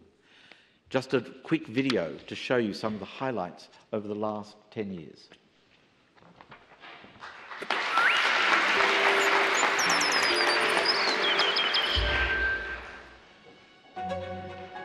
I cannot think of a better place in which to discuss the international dimension of culture than a city which welcomes so many artists from so many countries every year. I believe that all art is essentially a reflection of our hearts, of our dreams, our fears, our regrets, and our experiences. The Hindu mind in the ancient Vedic times regarded culture as a balanced view of life, where real and false values were not confused. Cultural relations provide the opportunity for us to open up vistas of experiences and to negotiate differences and adjust and accommodate each other's priorities. We have strong evidence that music training in childhood facilitates language learning, reading readiness, and general intellectual development. Participation in the Dance for PD program reinscribes a sense of possibility, self worth, even hope in the face of degenerative illness. Getting the framework right, but not taking into account the nature and quality of the experience, means we seriously undervalue the most important things which the arts can do for us as human beings. A nation that refuses to learn from other cultures is nothing but a nation of idiots and lunatics. How do we create optimism again? How do we believe that humans could be in love with other humans? And many things evolved from that moment, and the South Bank Centre was one of them. In fact, the Edinburgh Festival was another. Music is also the unique spiritual language capable to bringing peace to our hearts. Music is a fundamental human right. Why has man always gone to the fireside? Why do we have these things? Television and movies and plays and music and art and dance. Um, being part of the future of these communities and the vitality of the communities. For me, arts and culture it's, it's not a luxury that you can dispense with.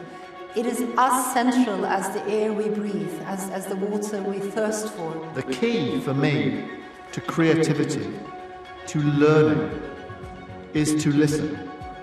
So, the idea to keep in your minds as we move into this new period is so many of the things around us today that look strange or unusual or unnerving are not one off things. They are expressions of this underlying shift in power that will be as dramatic and significant as the Enlightenment itself.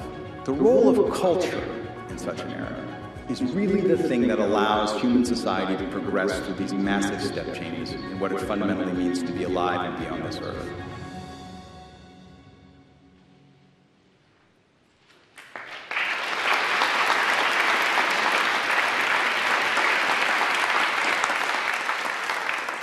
Thank you, Sir Jonathan, for that overview and for the compilation of images from previous summits. Um, it's fair to say that we've, we've already heard many inspirational and important contributions this afternoon.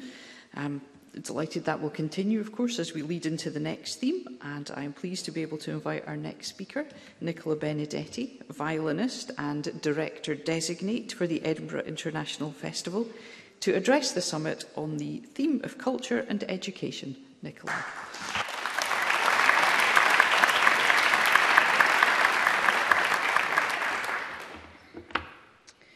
Thank you so much. Um, I would like to say I am deeply, deeply humbled to be speaking to you all today. Everything heard so far has been moving and inspirational and life changing, quite literally. Thank you so much for your words. Um, I would also like to say, as a Scot, how proud I am that Edinburgh is the home to this summit and has achieved all that we've just seen. And thank you so much to Jonathan for everything you've done. This cultural summit is born in Edinburgh, but what is housed here is owned and shared universally. The collective stories of this city, of all of those who have roamed its beautiful streets, absorbed its spirit, felt and sensed their way deep into its wisdom and humour and darkness and light. The individuals that possessed the audacity to dream of a fairer world, an enlightened world. In our most recent past of these last 75 years, the thousands upon thousands of artistic presentations and interpretations of those stories. All of this reaches far back into our ancient primal history and propels us into our imagined future. We are not only our lives, we are physical manifestations of a global and timeless collective experience.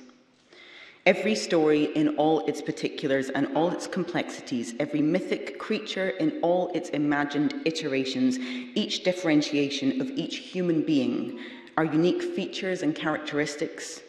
Each nation, with its values and borders and laws and belief systems and flags and road signs and customs, celebrates the wild, unruly, stubborn, nuanced, unpredictable diversity of humanity. But at the base of all of that diversity and colour, we find a streamlined, dense core. Our DNA, no matter which corner of this earth you or your parents or your parents' parents were born, is 99.9% identical. Not similar, but identical. So, when speaking to the invisible but thoroughly truthful parts of our existence, the parts we cannot see nor touch, but that are the essence of who we are, is the same not true? Our experiences of love, hate, birth, death, greed, hunger, envy, and loss. This dense core of accumulated shared experiences is what binds us all. It builds, deepens, churns, hardens, and repeats its pain and its beauty across the world and across time. So, when we use the term arts and culture, we speak of the highest, most beautiful, and revealing telling of these tales. Now, I am a musician first and foremost, not a speaker, and have the honour of representing a universal language that is as old as we are a symbolic distillation and refinement of what we have to offer the world, and an intensification of our human experience. Now, walking through the chaos of Edinburgh's streets during this time, we encounter countless people testing and honing their craft, virtuosity and vulnerability in all its forms, and thousands more visit this city here to view and appreciate the diversity of talent the old and the new, all mixed up together. Because we all know that what has been will, in some reimagined form, be alive again. We know that nothing and everything living within that dense core of commonality, that 99.9% sameness, is truly new. But we need the reassurance and we need the repetition through education, through art, through culture, of all the things that keep us moving and keep us reaching. Just like in a yoga pose, stretching in two opposite directions at once in search of balance, in search of our life's challenge and the essence of its meaning. Now, I was asked to speak on culture and education, two very, very large subjects. But let's just consider the facts around our gathering here this afternoon, the effort expended by so many present here today. To leave family and friends, to get on flights, to venture into the land of whisky and haggis, to hear, and for some of us to tolerate, the inescapable bagpipes that are on a loop, to decode our strong accents, negotiate the hills and steps and cobbles, to be herded along in the shadows of so many grandiose statues and ancient castles. If we consider our choice to leave probably much warmer and more friendly weather for this fickle Scottish climate. Our being here is in itself a shining symbol of international citizenship and true universality, of a cosmopolitan will to contribute, to offer what we feel, what we know, and certainly what we believe to other like spirited citizens who really want to participate in an exchange of hearts and of minds. Our very presence here today says that we are committed to a journey of development and improvement that we want to change for the better. Just being here clearly demonstrates our humility and our curiosity This gathering is a collective pledge towards our belief in something greater, towards the belief that through embodying universality and enacting connectivity with all its messiness and colourfulness and disagreeableness, we grow. We grow through that process. And if we can sit with strong and opposing views, we can and we will be better. Now, education can be a cold and dry word that can sometimes inspire a passive vibe within us. And I don't know what comes to mind when you think of education, of teaching, learning, passing on, the sharing of information. Now, one of the dearest people to me, my duo partner who plays piano and uh, is Ukrainian, and I have toured with for many, many years, and is one of um, the most ph phenomenal musicians. Uh, he studied in Kiev with a great but strict and fairly controlling teacher. This teacher was the authority on what she said it should go like.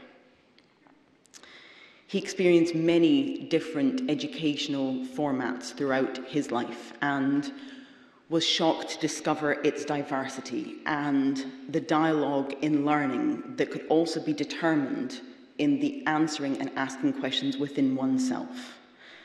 Watching Alexei play and watching him teach now is an entire series of questions, never answers. He is disinterested in forcing any idea on any student, unless that idea is that they must themselves think and answer those questions. There are so many other examples of the term education. For Socrates, the role of a teacher was akin to that of a midwife, implying you have something within you that only requires bringing forth.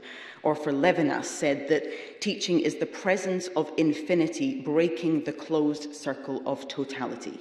In other words, through education, are we in fact trying to open windows into worlds you would never dream of yourself? Or, as one of my dearest friends would say, all of life is your education. Learning how to cook a meal through calling your mum is an education, something I do on a very regular basis.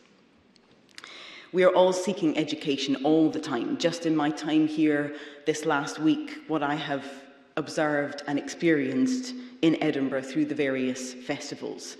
In Liz Lochhead's production of Medea at the Hub, a contemporary reading of an ancient Greek play, the uses of space, the abundance of creativity and invention, I left questioning my own perspective on sanity, on the justifying of our behaviours we inflict upon ourselves and those around us, the moving goalpost of right and wrong, the interpreting and twisting of truths as we see it. and the power of some of our worst traits and inflictions. But also the power of the ancient caretaking bard, the role of the nurse, the persuasions of a chorus of voices, although in Medea's case, they are ultimately unsuccessful.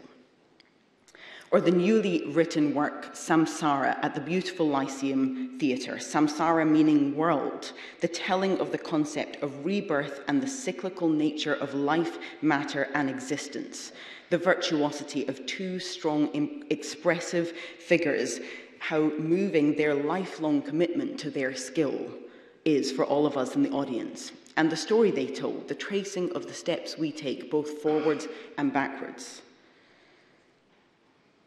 or for me, speaking more personally, the performance that I gave alongside the Scottish Chamber Orchestra in the Usher Hall playing Bruch's Violin Concerto. That certainly taught me something about rising to an occasion, something about nerves, something about pressure, and something about sharing collectively with audiences and experience.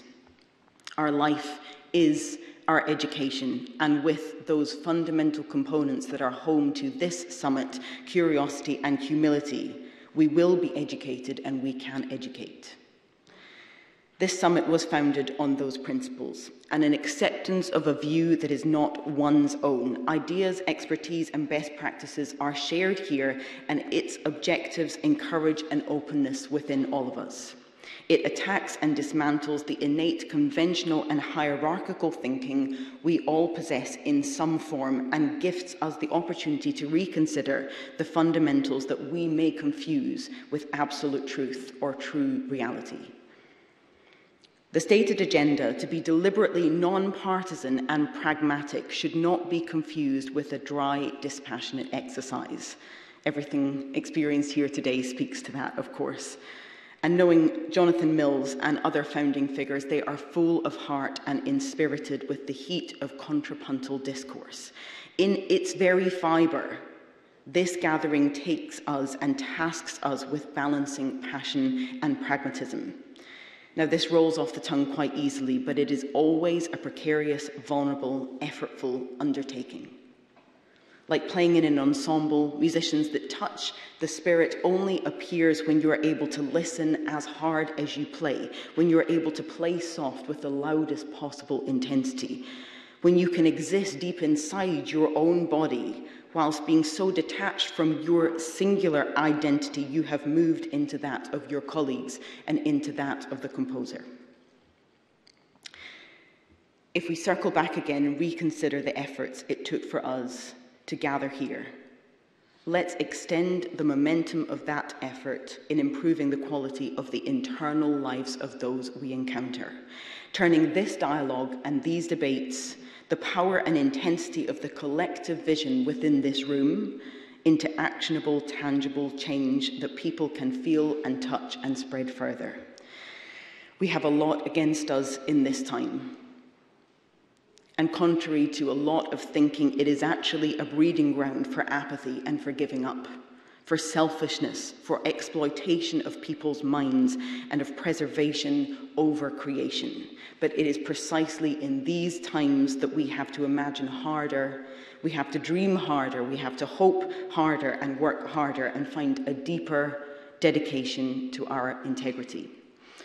To really share and to truly bring more people in always, always requires sacrifice. but equally to carry out any mission with absolute integrity also requires sacrifice. So my pledge and my plea is for us to double down in our various good-willed fights, to always aspire to raise the horizons of those we have the fortune to impact, in practice, in practice, and in action to share with just as much passion as humility the best of what we know, to share is to educate. This is a lifelong and sometimes thankless pursuit, but I believe that we are all here tied in this pursuit together, which makes the road a lot less lonely. So I look forward to walking down it alongside you all. Thank you so much.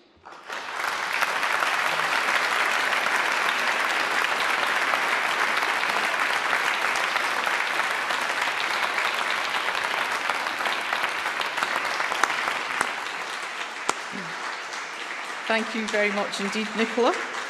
I would now like to invite the second of our speakers today on culture and education, Yoshiki Takeuchi, Deputy Secretary General of the OECD. Thank you.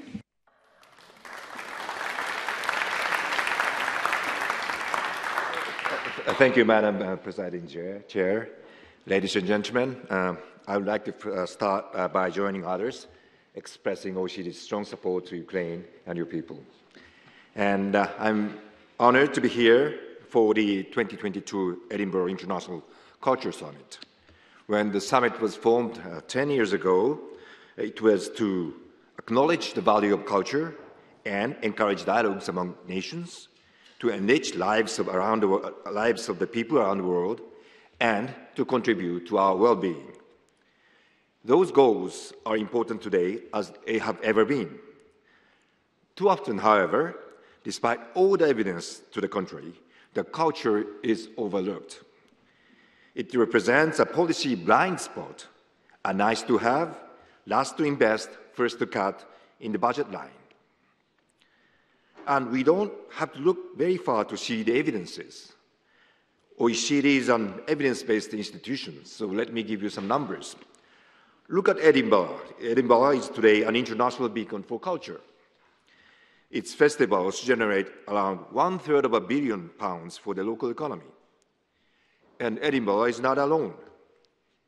Indeed, culture and creative sectors accounts for around 5.5% of the EU's gross value added and up to one in 10 jobs in some cities, such as Berlin, for example.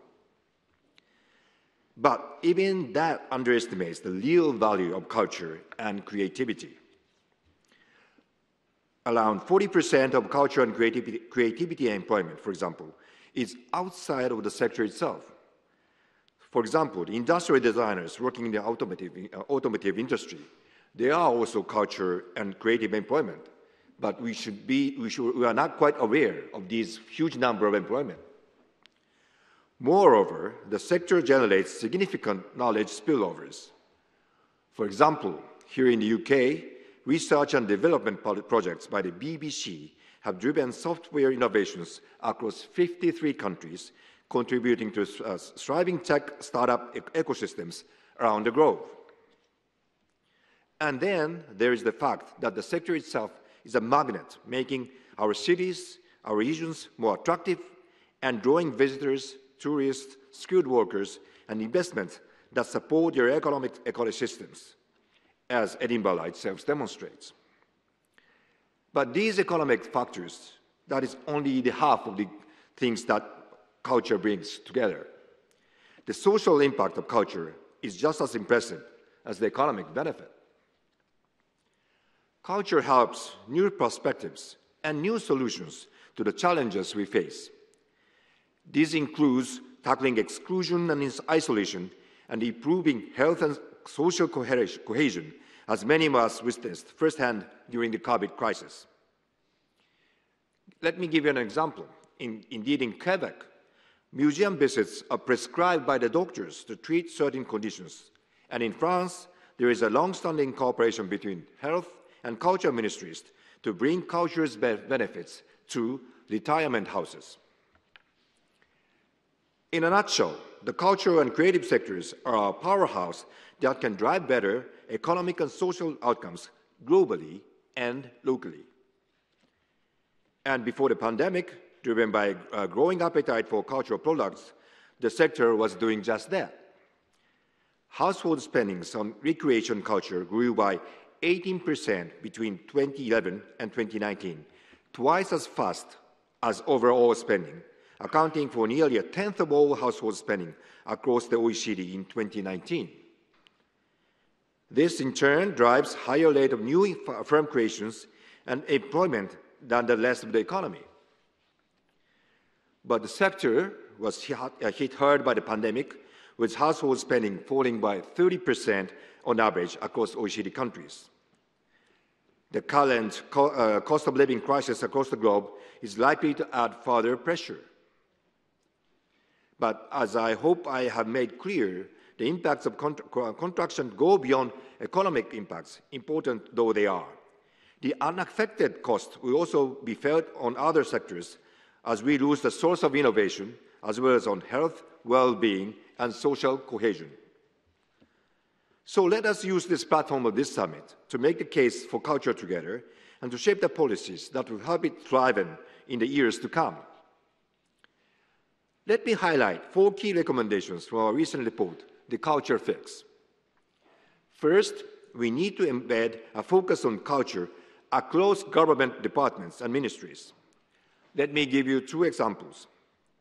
In health policy, innovative use of creative content and virtual reality and cultural perspectives are increasingly being used. And in environment policy, the power of culture to shape the attitudes to, and behaviors is being harnessed to help address the climate emergency. Second, we need to address the sector's long-standing challenges. For example, we need to protect the human capital by improving contract stability and access to social protections for the sector's employees who are twice as likely to be self-employed as those in other professions. We also need to improve the sector's infrastructure, including the digital infrastructure. Third, we need to do more to recognize and support the role of subnational governments in nurturing the cultural and uh, creative sectors. Actually, subnational governments accounted for almost 60% of total public expenditure when it comes to cultural services in 2019 across OECD. Finally, although this is improving, we need to continue to invest in improving the evidence on the economic and social impacts, impact of culture. This will allow to shed light on those blind spots that are holding us back from leveraging on the sector's full potential. So let me conclude, ladies and gentlemen. The full value of culture and creativity is often underappreciated by policymakers, and we are all the more poorer, poorer for it. Today's summit provides another important opportunity to continue to raise the awareness of these multiple impacts, multiple benefits, and in turn strengthen our support for them and the ability to support our economies and societies. The OECD will continue to provide evidence and guidance to cities, regions, and governments on ways to maximize the economic and social value of cultural heritage and creative economy. Thank you very much.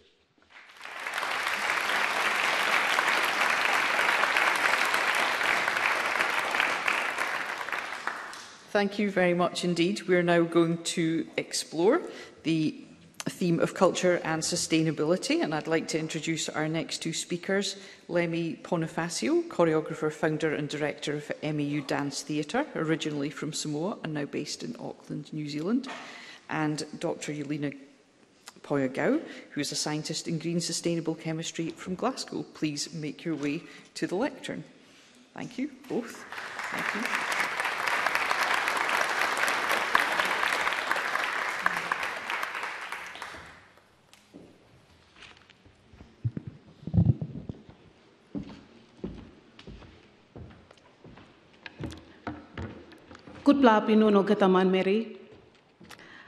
It is indeed a pleasure for me to stand before you all representing my region, Oceania region, the people of the Pacific Islands. As mentioned, my name is Dr. Yalmu Poyagao.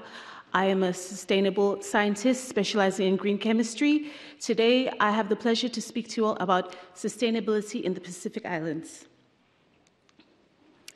Now, just to give a background on our Oceania region, um, I'm sure some of you know where we are located. We're in the Pacific Ocean, and the Oceania region is divided into three subregions. We have the Melanesian people, Polynesians, and then we have the Micronesia. Now, you can see we are a large, um, we are a large amount of people. We are in the Pacific um, Ocean, and we are comprised of three subregions. Now, we have heard a lot about different arts and cultures, and of course, today I will speak to you about sustainability.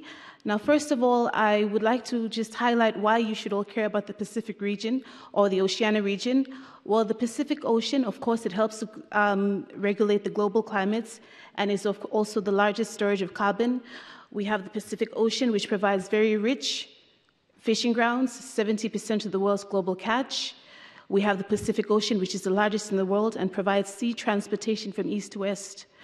Pacific Islands are also rich in gold, silver, copper, and other very rare metals. We also supply the world with oil and gas, and we are food basket. And because we have vast virgin tropical rainforest, of course, it helps absorb carbon dioxide and releases oxygen. And we, of course, offer the world so much more. Now, we have this great issue of climate change, and we have all been um, talking about it for a very long time. However, it has been affecting the Pacific Islands for a very long time. Now, I'm sure you have come across this image before, where we had the minister from Tuvalu who spoke at the COP26 meeting. He gave his speech from the sea, of course, because you have the sea level risings and our islands are sinking in the Pacific. So, because Pacific Islands is spread across throughout the Pacific Ocean, and because of the rise in sea levels, this has caused us to be extremely vulnerable to climate change. Now, the entire Oceania region, it only contributes 0.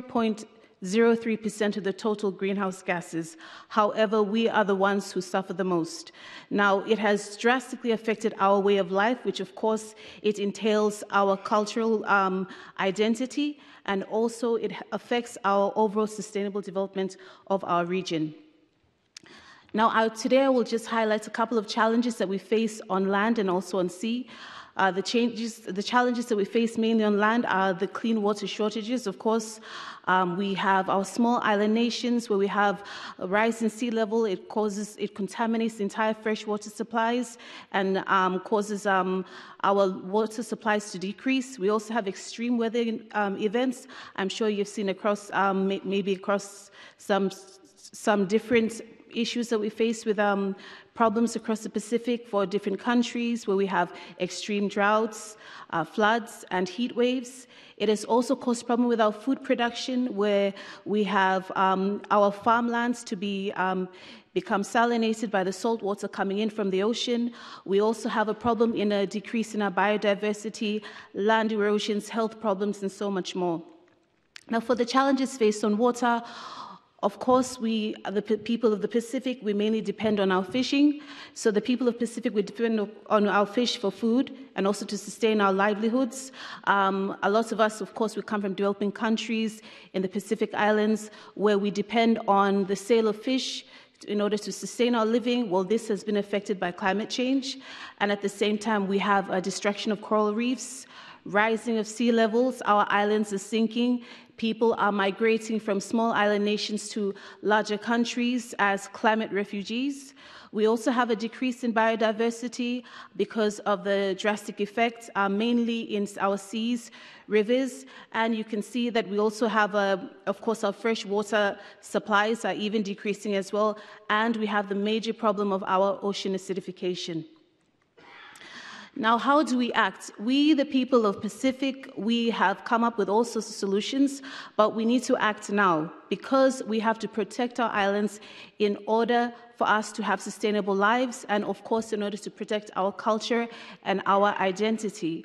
Now, of course, we have these climate agreements with um, things have started to go into play, especially with um, back in Paris, and also we have the recent COP26 meetings. We also have to protect our water sources by doing our own sustainable ways by planting vegetation to act as buffer sources and also build barriers because we have the salt water coming in and contaminating our water. We, the Pacific, are resilient people, so we have come up with, of course, going back to how we did our traditional culture practices, where we use traditional agroforestry practices to help with shading crops and trees to grow weather tolerant foods.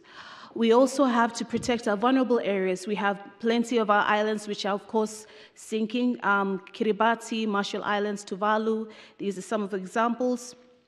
So we have to come up with ways to protect our vulnerable areas. We also have climate change plans, where Pacific Islands, of course, we're producing plans. Pacific Island nation governments in talks with each other to upgrade infrastructure and also migrate for climate change refugees. And of course, we have to create awarenesses to our people that in order to maintain our cultural identity, to protect our traditional ways, we are suffering climate change. And of course, in order to do that, we have to educate everyone around us on how we can adapt um, to sustainability and how to do it effectively. Now, Pacific Islanders, we're resilient people. Despite all that has happened to us, we still hold on to our culture, traditions, and beliefs very close to us. Uh, we are very rich and diverse in culture. Um, we speak many languages. I'll give an example. My country, Papua New Guinea, alone speaks almost 900 languages, spread in only 8 million people. So, the entire area of the Pacific, we are traditionally diverse. We are lovely people and we are very resilient despite all that's happened to us. So we continue to um, fight climate change, try to come up with adaptable ways to um, survive and also continue our cultural heritage. Thank you.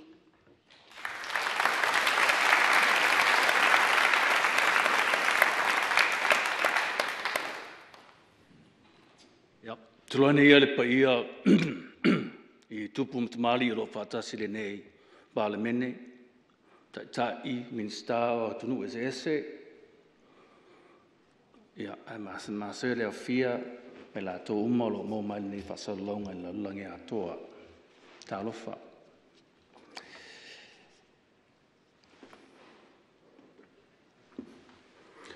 I am Salah Ponifasio. I come from Samoa. I am a Matai or a chief of Samoa.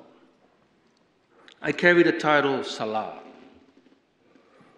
Salah is the name of the original ancestor.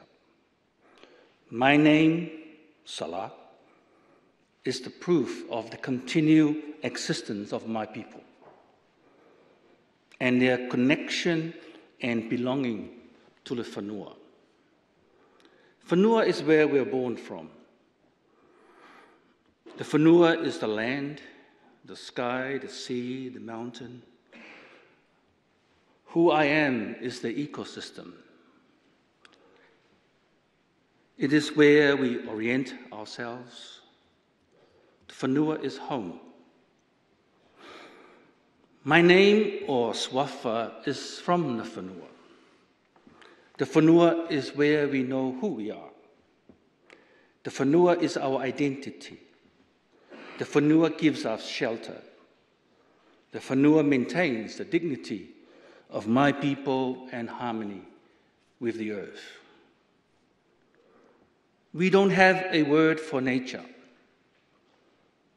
We refer to our bodies as whanua. The word for my blood is pala pala. Pala pala means earth. New words from England have replaced whanua with real estate or property. Blood doesn't mean earth in the English language. I am part of earth that stands up and walk, and I will return to lie down when death arrives. I will be absorbed back into the land, grateful to have been part of this miracle called life. My standpoint from a particular cosmovision, a particular spiritual tradition, and a particular environmental position. My beliefs how I animate my life, and how I relate with the world were born from and colored by the Samoan Islands and the ocean surrounding it, called Moana. This cosmovision and wisdom have enabled Samoans to live within the rules and rhythm of Earth for thousands of years. 17 years ago, I was working on the island of Tarawa in Kiribati. Kiribati, of course, is known more to the world now because it seems to be the first country that is going to disappear, absorbed back into the ocean. On my first day there, I decided to go for a walk on the beach put my feet into the water. I saw from distant birds were landing and taking off. It was not possible to go to the water because in front of me was a mountain of plastic and broken tanks from the World War II. So I sat on a rock and watch the birds.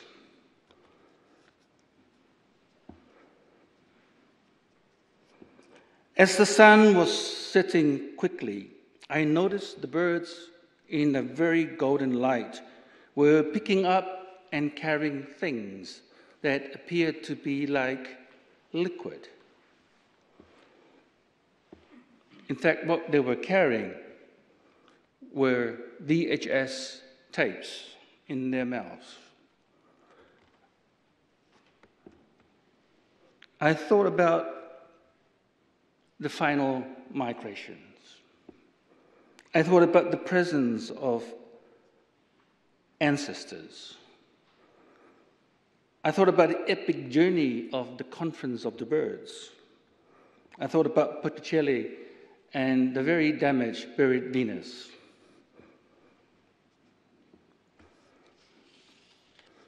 I wanted to create a ceremony, a prayer, and an apology, a celebration, a preparation, a sacrifice. I wanted to communicate with something more divine. I wanted to talk with the cosmos. I felt the whenua, I felt the flesh of existence. Sir Jonathan Mills uh, visited me in Auckland, where I work, to invite me to the Edinburgh Festival. He asked me what I was doing, and I said, I am creating a work called Birds with Sky Mirrors. Can we play that tape, please? And this work was presented up the road at the Playhouse Theatre.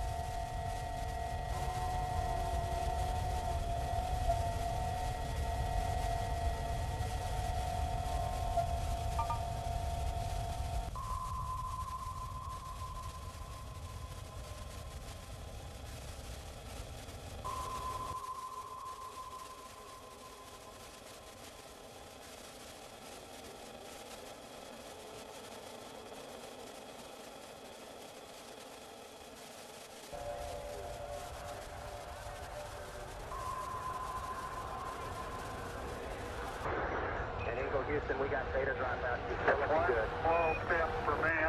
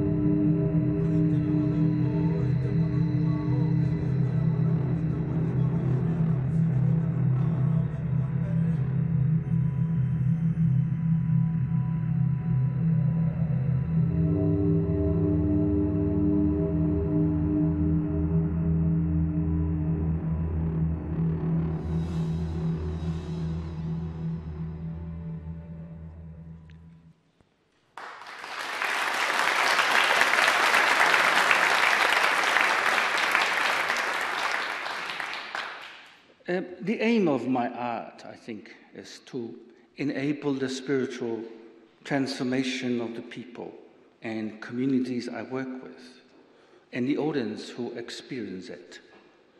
Spiritual here, I'm not referring to religion, but beliefs and practices that animate and integrate people's lives. These spiritualities are constantly moving and changing in our relationship with existence. People coming to the theatre are not just wanting distractions or comfort, but are seeking spiritual transformation. Theatre, music, dance, chant, ceremonies, these are prayers for spiritual transformation. Why do we do this? It is not possible to change human behavior without reviewing our spirituality. We cannot just hope to techno fix, spend, and policy make our way out of climate emergency, corporate greed, bigotry, and racist violence, blind hatred or crushing despair, and loneliness. We need to reform our spiritualities. If our spirit is sick, our behavior will be unhealthy.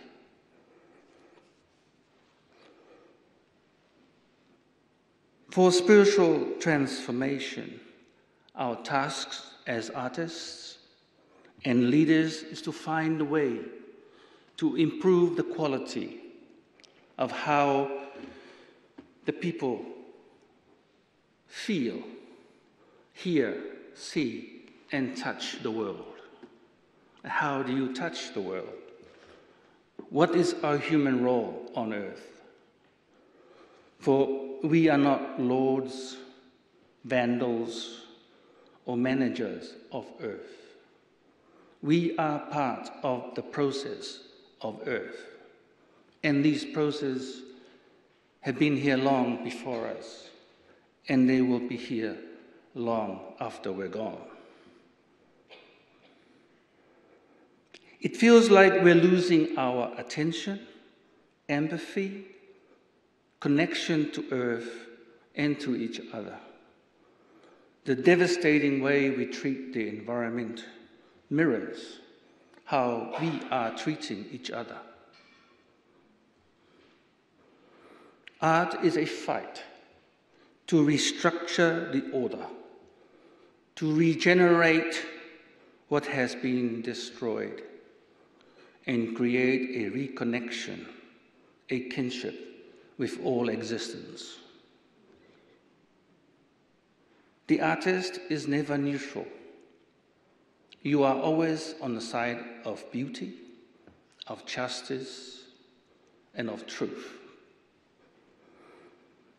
In art, we are made to look at the wounds and hurt of life, and we begin to imagine how to transcend to healing and a more beautiful, truthful condition.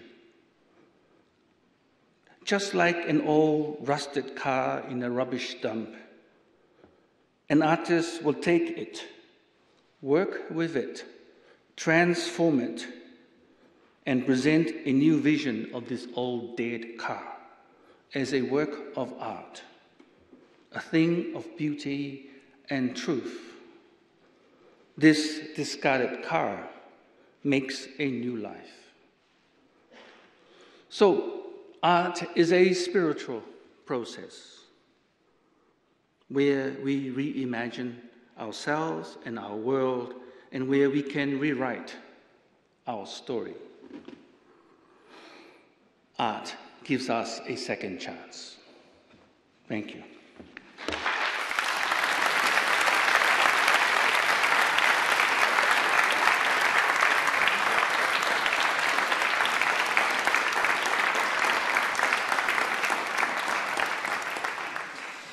Thank you, Lenny Bonifacio and Dr Gow for so profoundly and strongly setting the scene for our further deliberations on this subject, culture and sustainability. I'd like to take this opportunity to thank all the speakers and delegates very much for your contributions today, and I know we'll be looking forward to, to further in-depth discussions over the next few days. Before we move on to the next part of today's proceedings, we're going to take the official summit photograph here in the chamber. And following the photograph, a member of the Parliament's events team will guide you to, to where you need to be next. But I would now like to close the opening plenary of the 2022 Edinburgh International Culture Summit. Thank you.